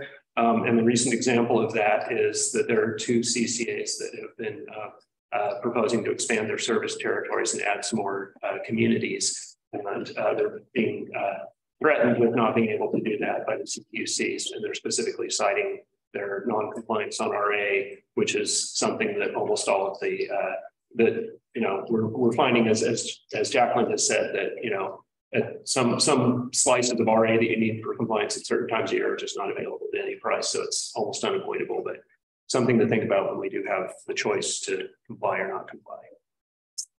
Thank you, Richard. Anybody else from the public? Okay, I'm not seeing any. Um, at this point, so let's see here. This is we, the action is to accept the risk management quarterly report. So do we have a motion for that? Thanks, Skip. Second. Uh, Sure, go ahead and take the online public comment. oh, did I do that? I did not do that. I thought you did at the beginning. I thought you did. And nobody spoke. Oh, you did, nobody. There, Go ahead. Yeah, is there anybody online? is anybody on like Nancy? It's our mute and unmute. I didn't realize my, uh, the toggle on my, um, microphone had turned off. I, there was no public comment. I would have jumped in. Thank you. Thank you. Thank you, Lori. Um, so we, ha- oh man, now I forgot. We had a first and a second, I think, but I can't remember who. Can I ask who, Yep, is it Director Jorgensen is the uh, mover and the second? Scott Bauer. Bauer, thank you. Um, all those directors, uh, voting aye, please raise your hand. Director Wilson, Bauer, Tuttle, Scafani, I'm sorry, Water District is non-voting on this issue, Shape. I would if I could. Arroyo, Jorgensen, and Yurok Tribe is non-voting. Motion passes. Thank you. Okay. Um, I need to ask, so we've, it's a five fifteen almost, and we've got two more informational items. And, um, so Matthew, what do you think about timing? Um, we are in Richard Engel's hands. I don't, I'm not sure. I, I think, um, uh, they both could be pretty quick. Okay, I know that nine point three is something that people probably want to hear about for sure. So yeah, go ahead, Richard, nine point two and nine point three. Thank you. And yes, I will try to keep this brief. Thanks, Ken. Um, yeah, I'm Richard Engel from staff. Um, uh, so the item is uh, about a uh, process that we've launched, Electric Future. And um, And the purpose of this project is um, firstly to educate the community about our integrated resource planning process that we're required to complete every two years by the California Public Utilities Commission. Um, and the timing of this was chosen because uh, we have to submit that IRP in uh, basically like around the middle of even numbered years. And we're in an odd numbered year, and off year right now. And it seems a good time to reach out and engage the public. So uh, we want to provide an, an accessible venue um, for gathering the public input to inform that IRP um, and just our procurement planning in general. Um, we last updated our strategic plan in 2019 um, and uh, as a, you just got a, a, really large dose of how volatile things in energy markets and how much change happens in a short time. So um, having this process um, to go out, you know, I think you know, the vision of the strategic plan is to maybe update that, you know, fully update it once a decade or so. And this is a chance in between to get some uh, meaningful public input on, on our power procurement. Um, so uh, as a first step in engaging the public, we put out the Humboldt's Electric initial report, which you have in your packet. And we created a, a new uh, page on our website um, about this process um, where people can read that um, uh, a really brief description of the project, download the report. They can also sign up for notifications. And the way we're going to use the notifications is to let people know uh, uh, about uh, workshops that we're going to be doing in June. So we've scheduled an in-person workshop at this facility um, for a weekday evening, um, June 5th. And uh, we have yet to schedule it, but we're also going to do an online workshop um, just to capture people that might not be able to make it to the in-person workshop. Um, uh, so uh, um, this, and we're also going to have an outside facilitator come in and, and do something similar to what we've done in the past. Sometimes when we've had had uh, somebody come in and and just kind of be a, kind of an outside voice that doesn't really have a dog in the fight, you know, to kind of help us get you know honest input from the community. Um, so just kind of key events and timing on this is um, uh, uh, we're going to go to the community advisory committee next month um, and uh, present that initial report to them. Um, we're going to ask the CAC to form an ad hoc uh, subcommittee to work with us on this project. Um, and uh, we'll ask them to either decide to have the June workshop be a noticed, uh, you know, Brown Act CAC meeting with the public uh, participating, or uh, if they prefer, they could uh, uh, defer to that that subcommittee we're asking them to create um, to sort of represent the CAC at that at that workshop. Um, and then um, uh, back in July, we'll come back to the CAC to present outcomes from the workshop and how we see that informing uh, decisions our, our power portfolio um, and, and our IRP for, for 2024. Um, and then we'll be coming back to the board at the end of July with final outcomes from all of this and a final version of the report for you to um, look at and hopefully sign off on. Um, and that just kind of runs down some of those activities that we've been doing to date, including hiring the workshop facilitator and getting that workshop booked.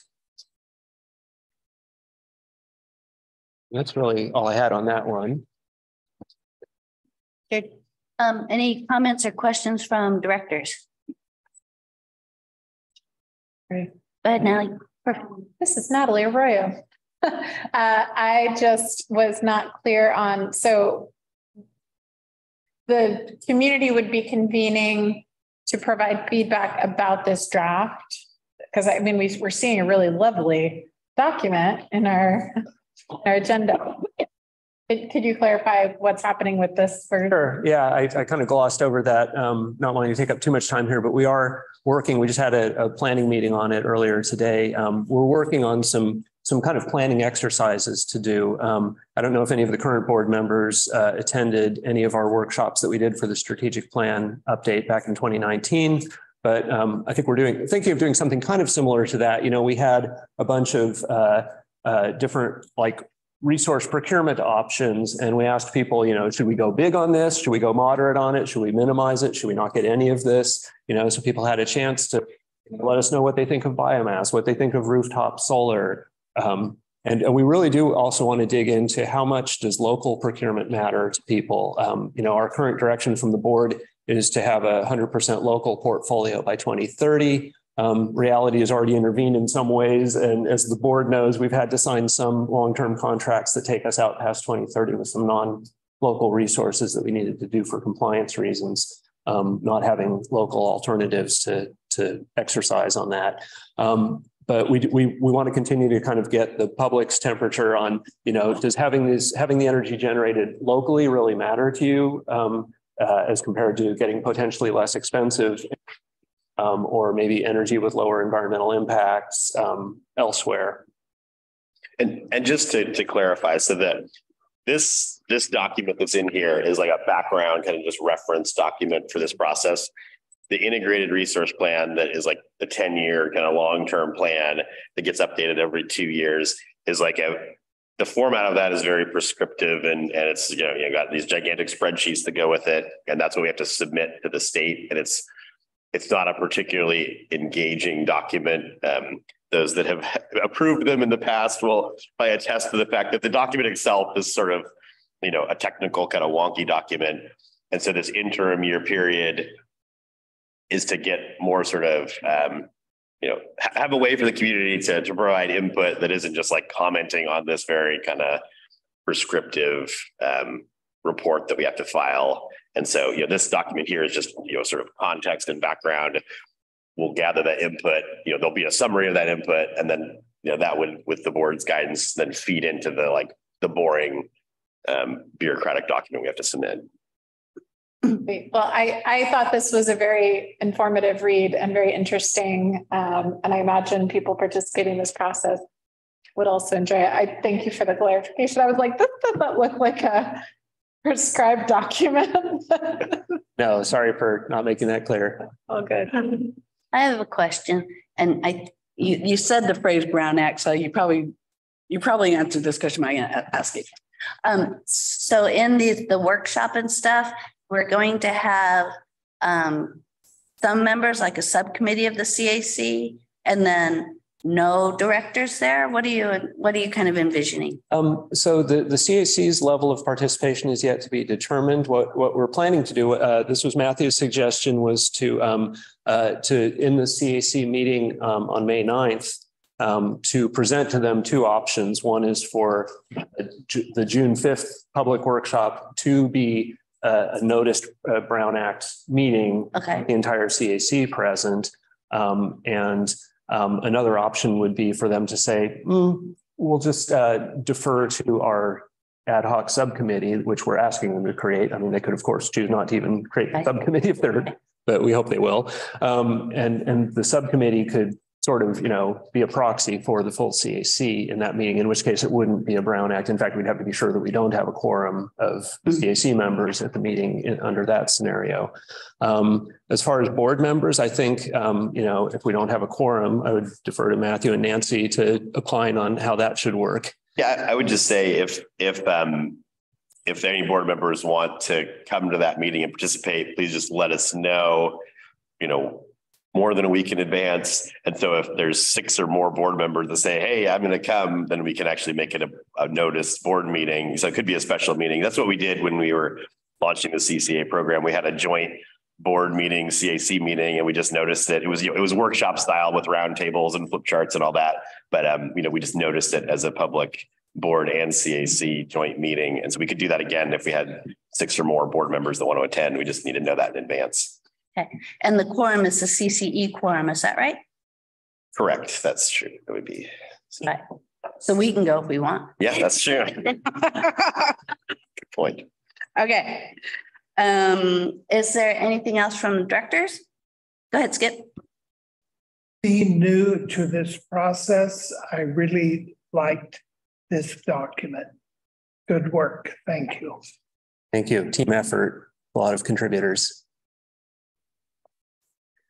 And I was gonna add, I, I think it's very approachable for a member of the public to, to delve into this kind of complicated stuff. So it's well put together.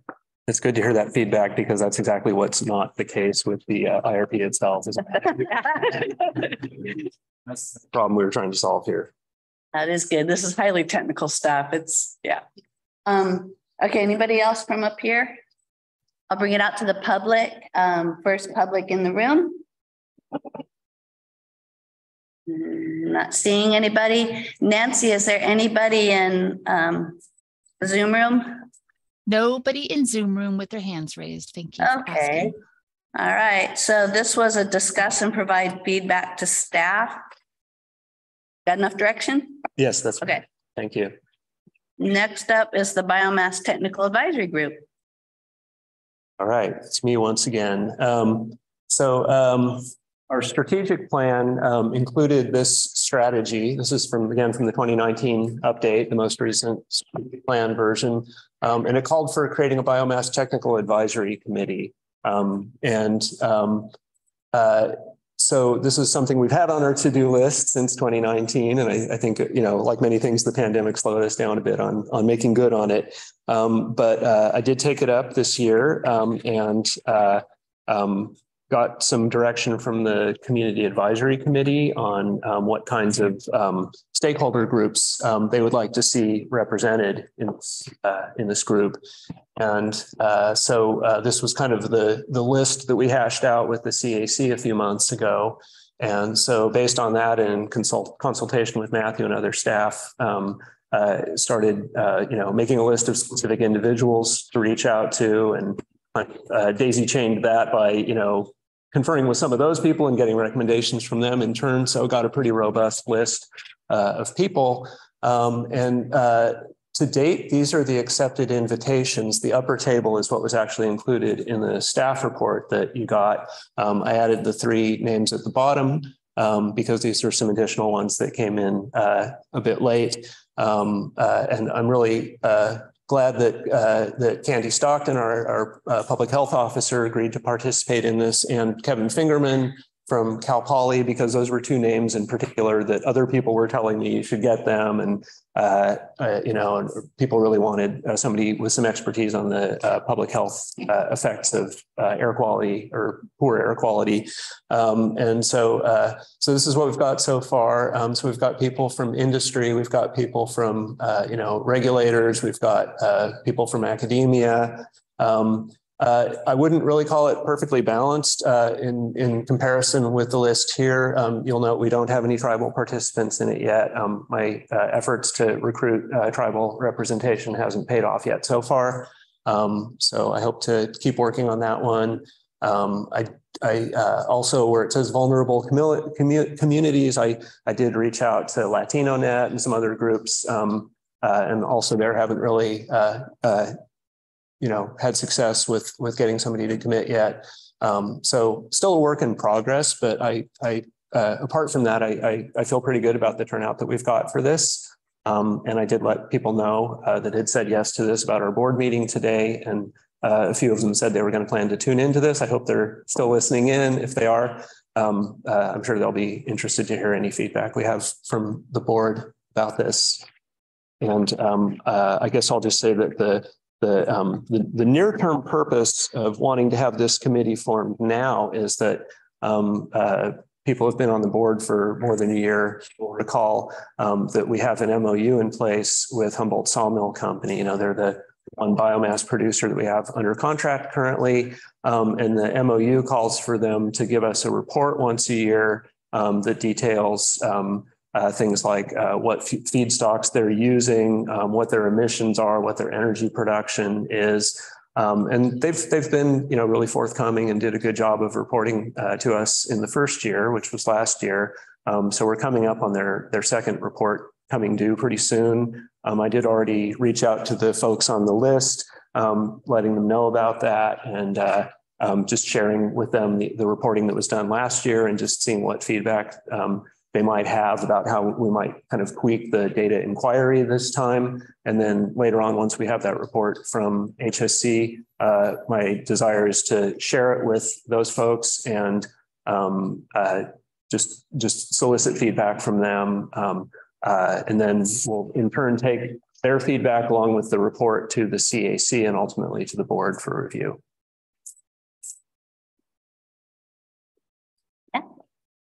Okay, um, questions, comments from the board? I have one. Um, for these items that, um, you know, we're really looking for public comment and um, I am not at all um, that if we time set them so that, you know, the biomass one, we say, okay, we're going to do this at 345 or something. I think we can do that. I mean, like with your help, Lori, I can do that. so um, that might be something we might want to consider doing so we can get more participation. You say something, Sarah? No, I said, yeah. Okay. that's looked at. The, I um I, I I let people know that we probably wouldn't be getting to the site until at least four thirty because I anticipated that uh, they probably wouldn't want to be on continuously from the beginning of the meeting. Okay. Go ahead, Nate. Um, so looking at the um, strategic plan statement, um, it talks about a technical advisory committee made, made up of local government representatives, state and federal, yada, yada. So I, I know that Yana kind of like works for the county as part of UC cooperative extension, but I'm just, um, what, what were this, what was the thinking about local government representatives and what that entails in this, in this group?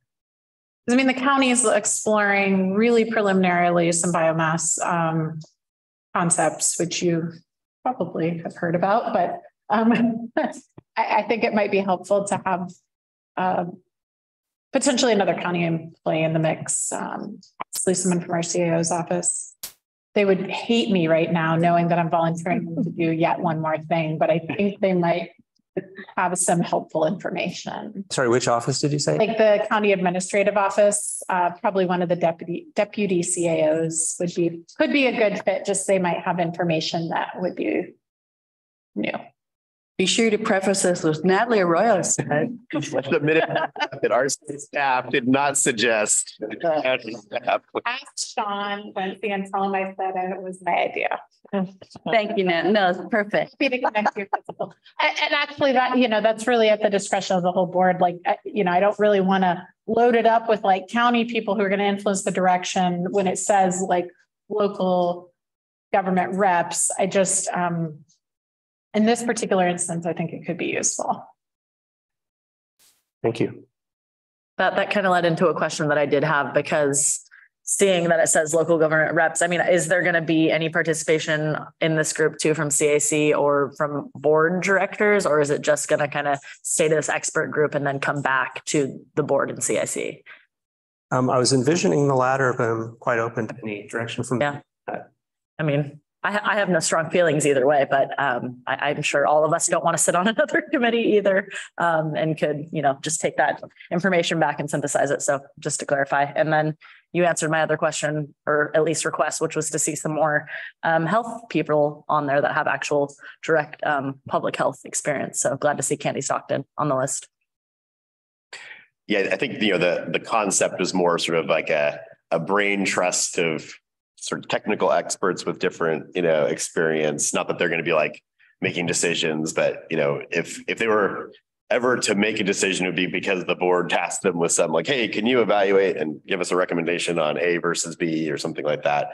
But, um, you know, anything that they're kind of looking at would be more, you know, providing review of of information and then uh, and certainly if there was some topic that was going to be delved into the board could set up uh, you know an ad hoc subcommittee that could meet with that group to discuss a specific issue um, and then the the annual MOU review will come back to the CAC and the board and so it'll just be kind of going through this technical group first before it comes to you so awesome okay Mhm. Anybody else from directors? I have Director one. Myers Go has ahead, his Frankie. hand up. Yeah. patiently waiting here in the the lonely Zoom world. Um, we've been digging into biomass for a while, and I kind of love biomass. I think it's pretty dope. Uh, if you shoot me an email, I can send uh, a few names your way of, of folks with the the tribe that have been working. on. I know a, a couple of the folks uh, in Hoopa that have kicked this can a few times as well, so I can uh, help bring some some folks in. One in particular was just texting me was like, "Hey man, say something. We've been doing this. Let's get on this." So uh, let me know, and we can. I'll volunteer some of my staff for sure. Thank you very much. Great, thank you. Anybody else from the board?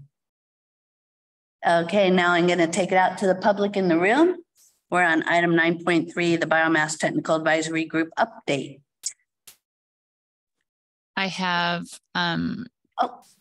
are you taking it out to Zoom land or? I will do that room? now because nobody in the room is typing up.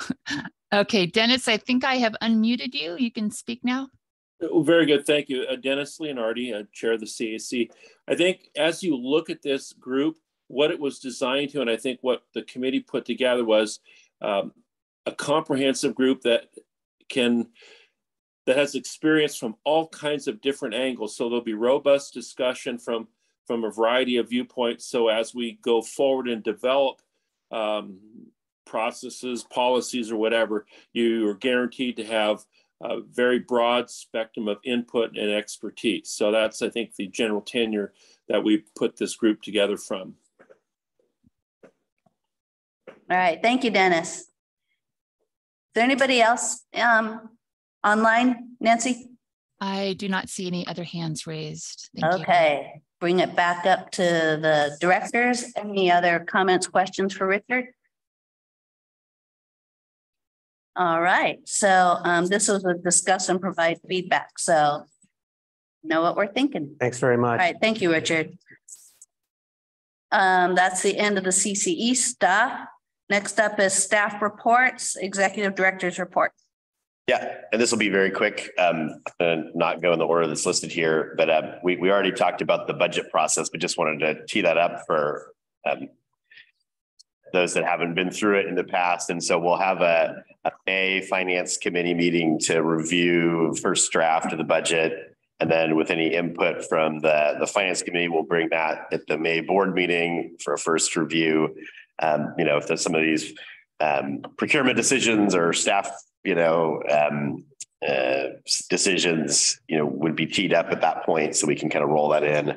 Um, and then um, if there's a need for it, we could have a second finance committee. If there's, you know, stuff to kind of go back and do some more sausage making with the finance committee um, in early June, and then bring the final budget back at the June meeting, um, you know, with whatever input's been uh, brought forth through that process.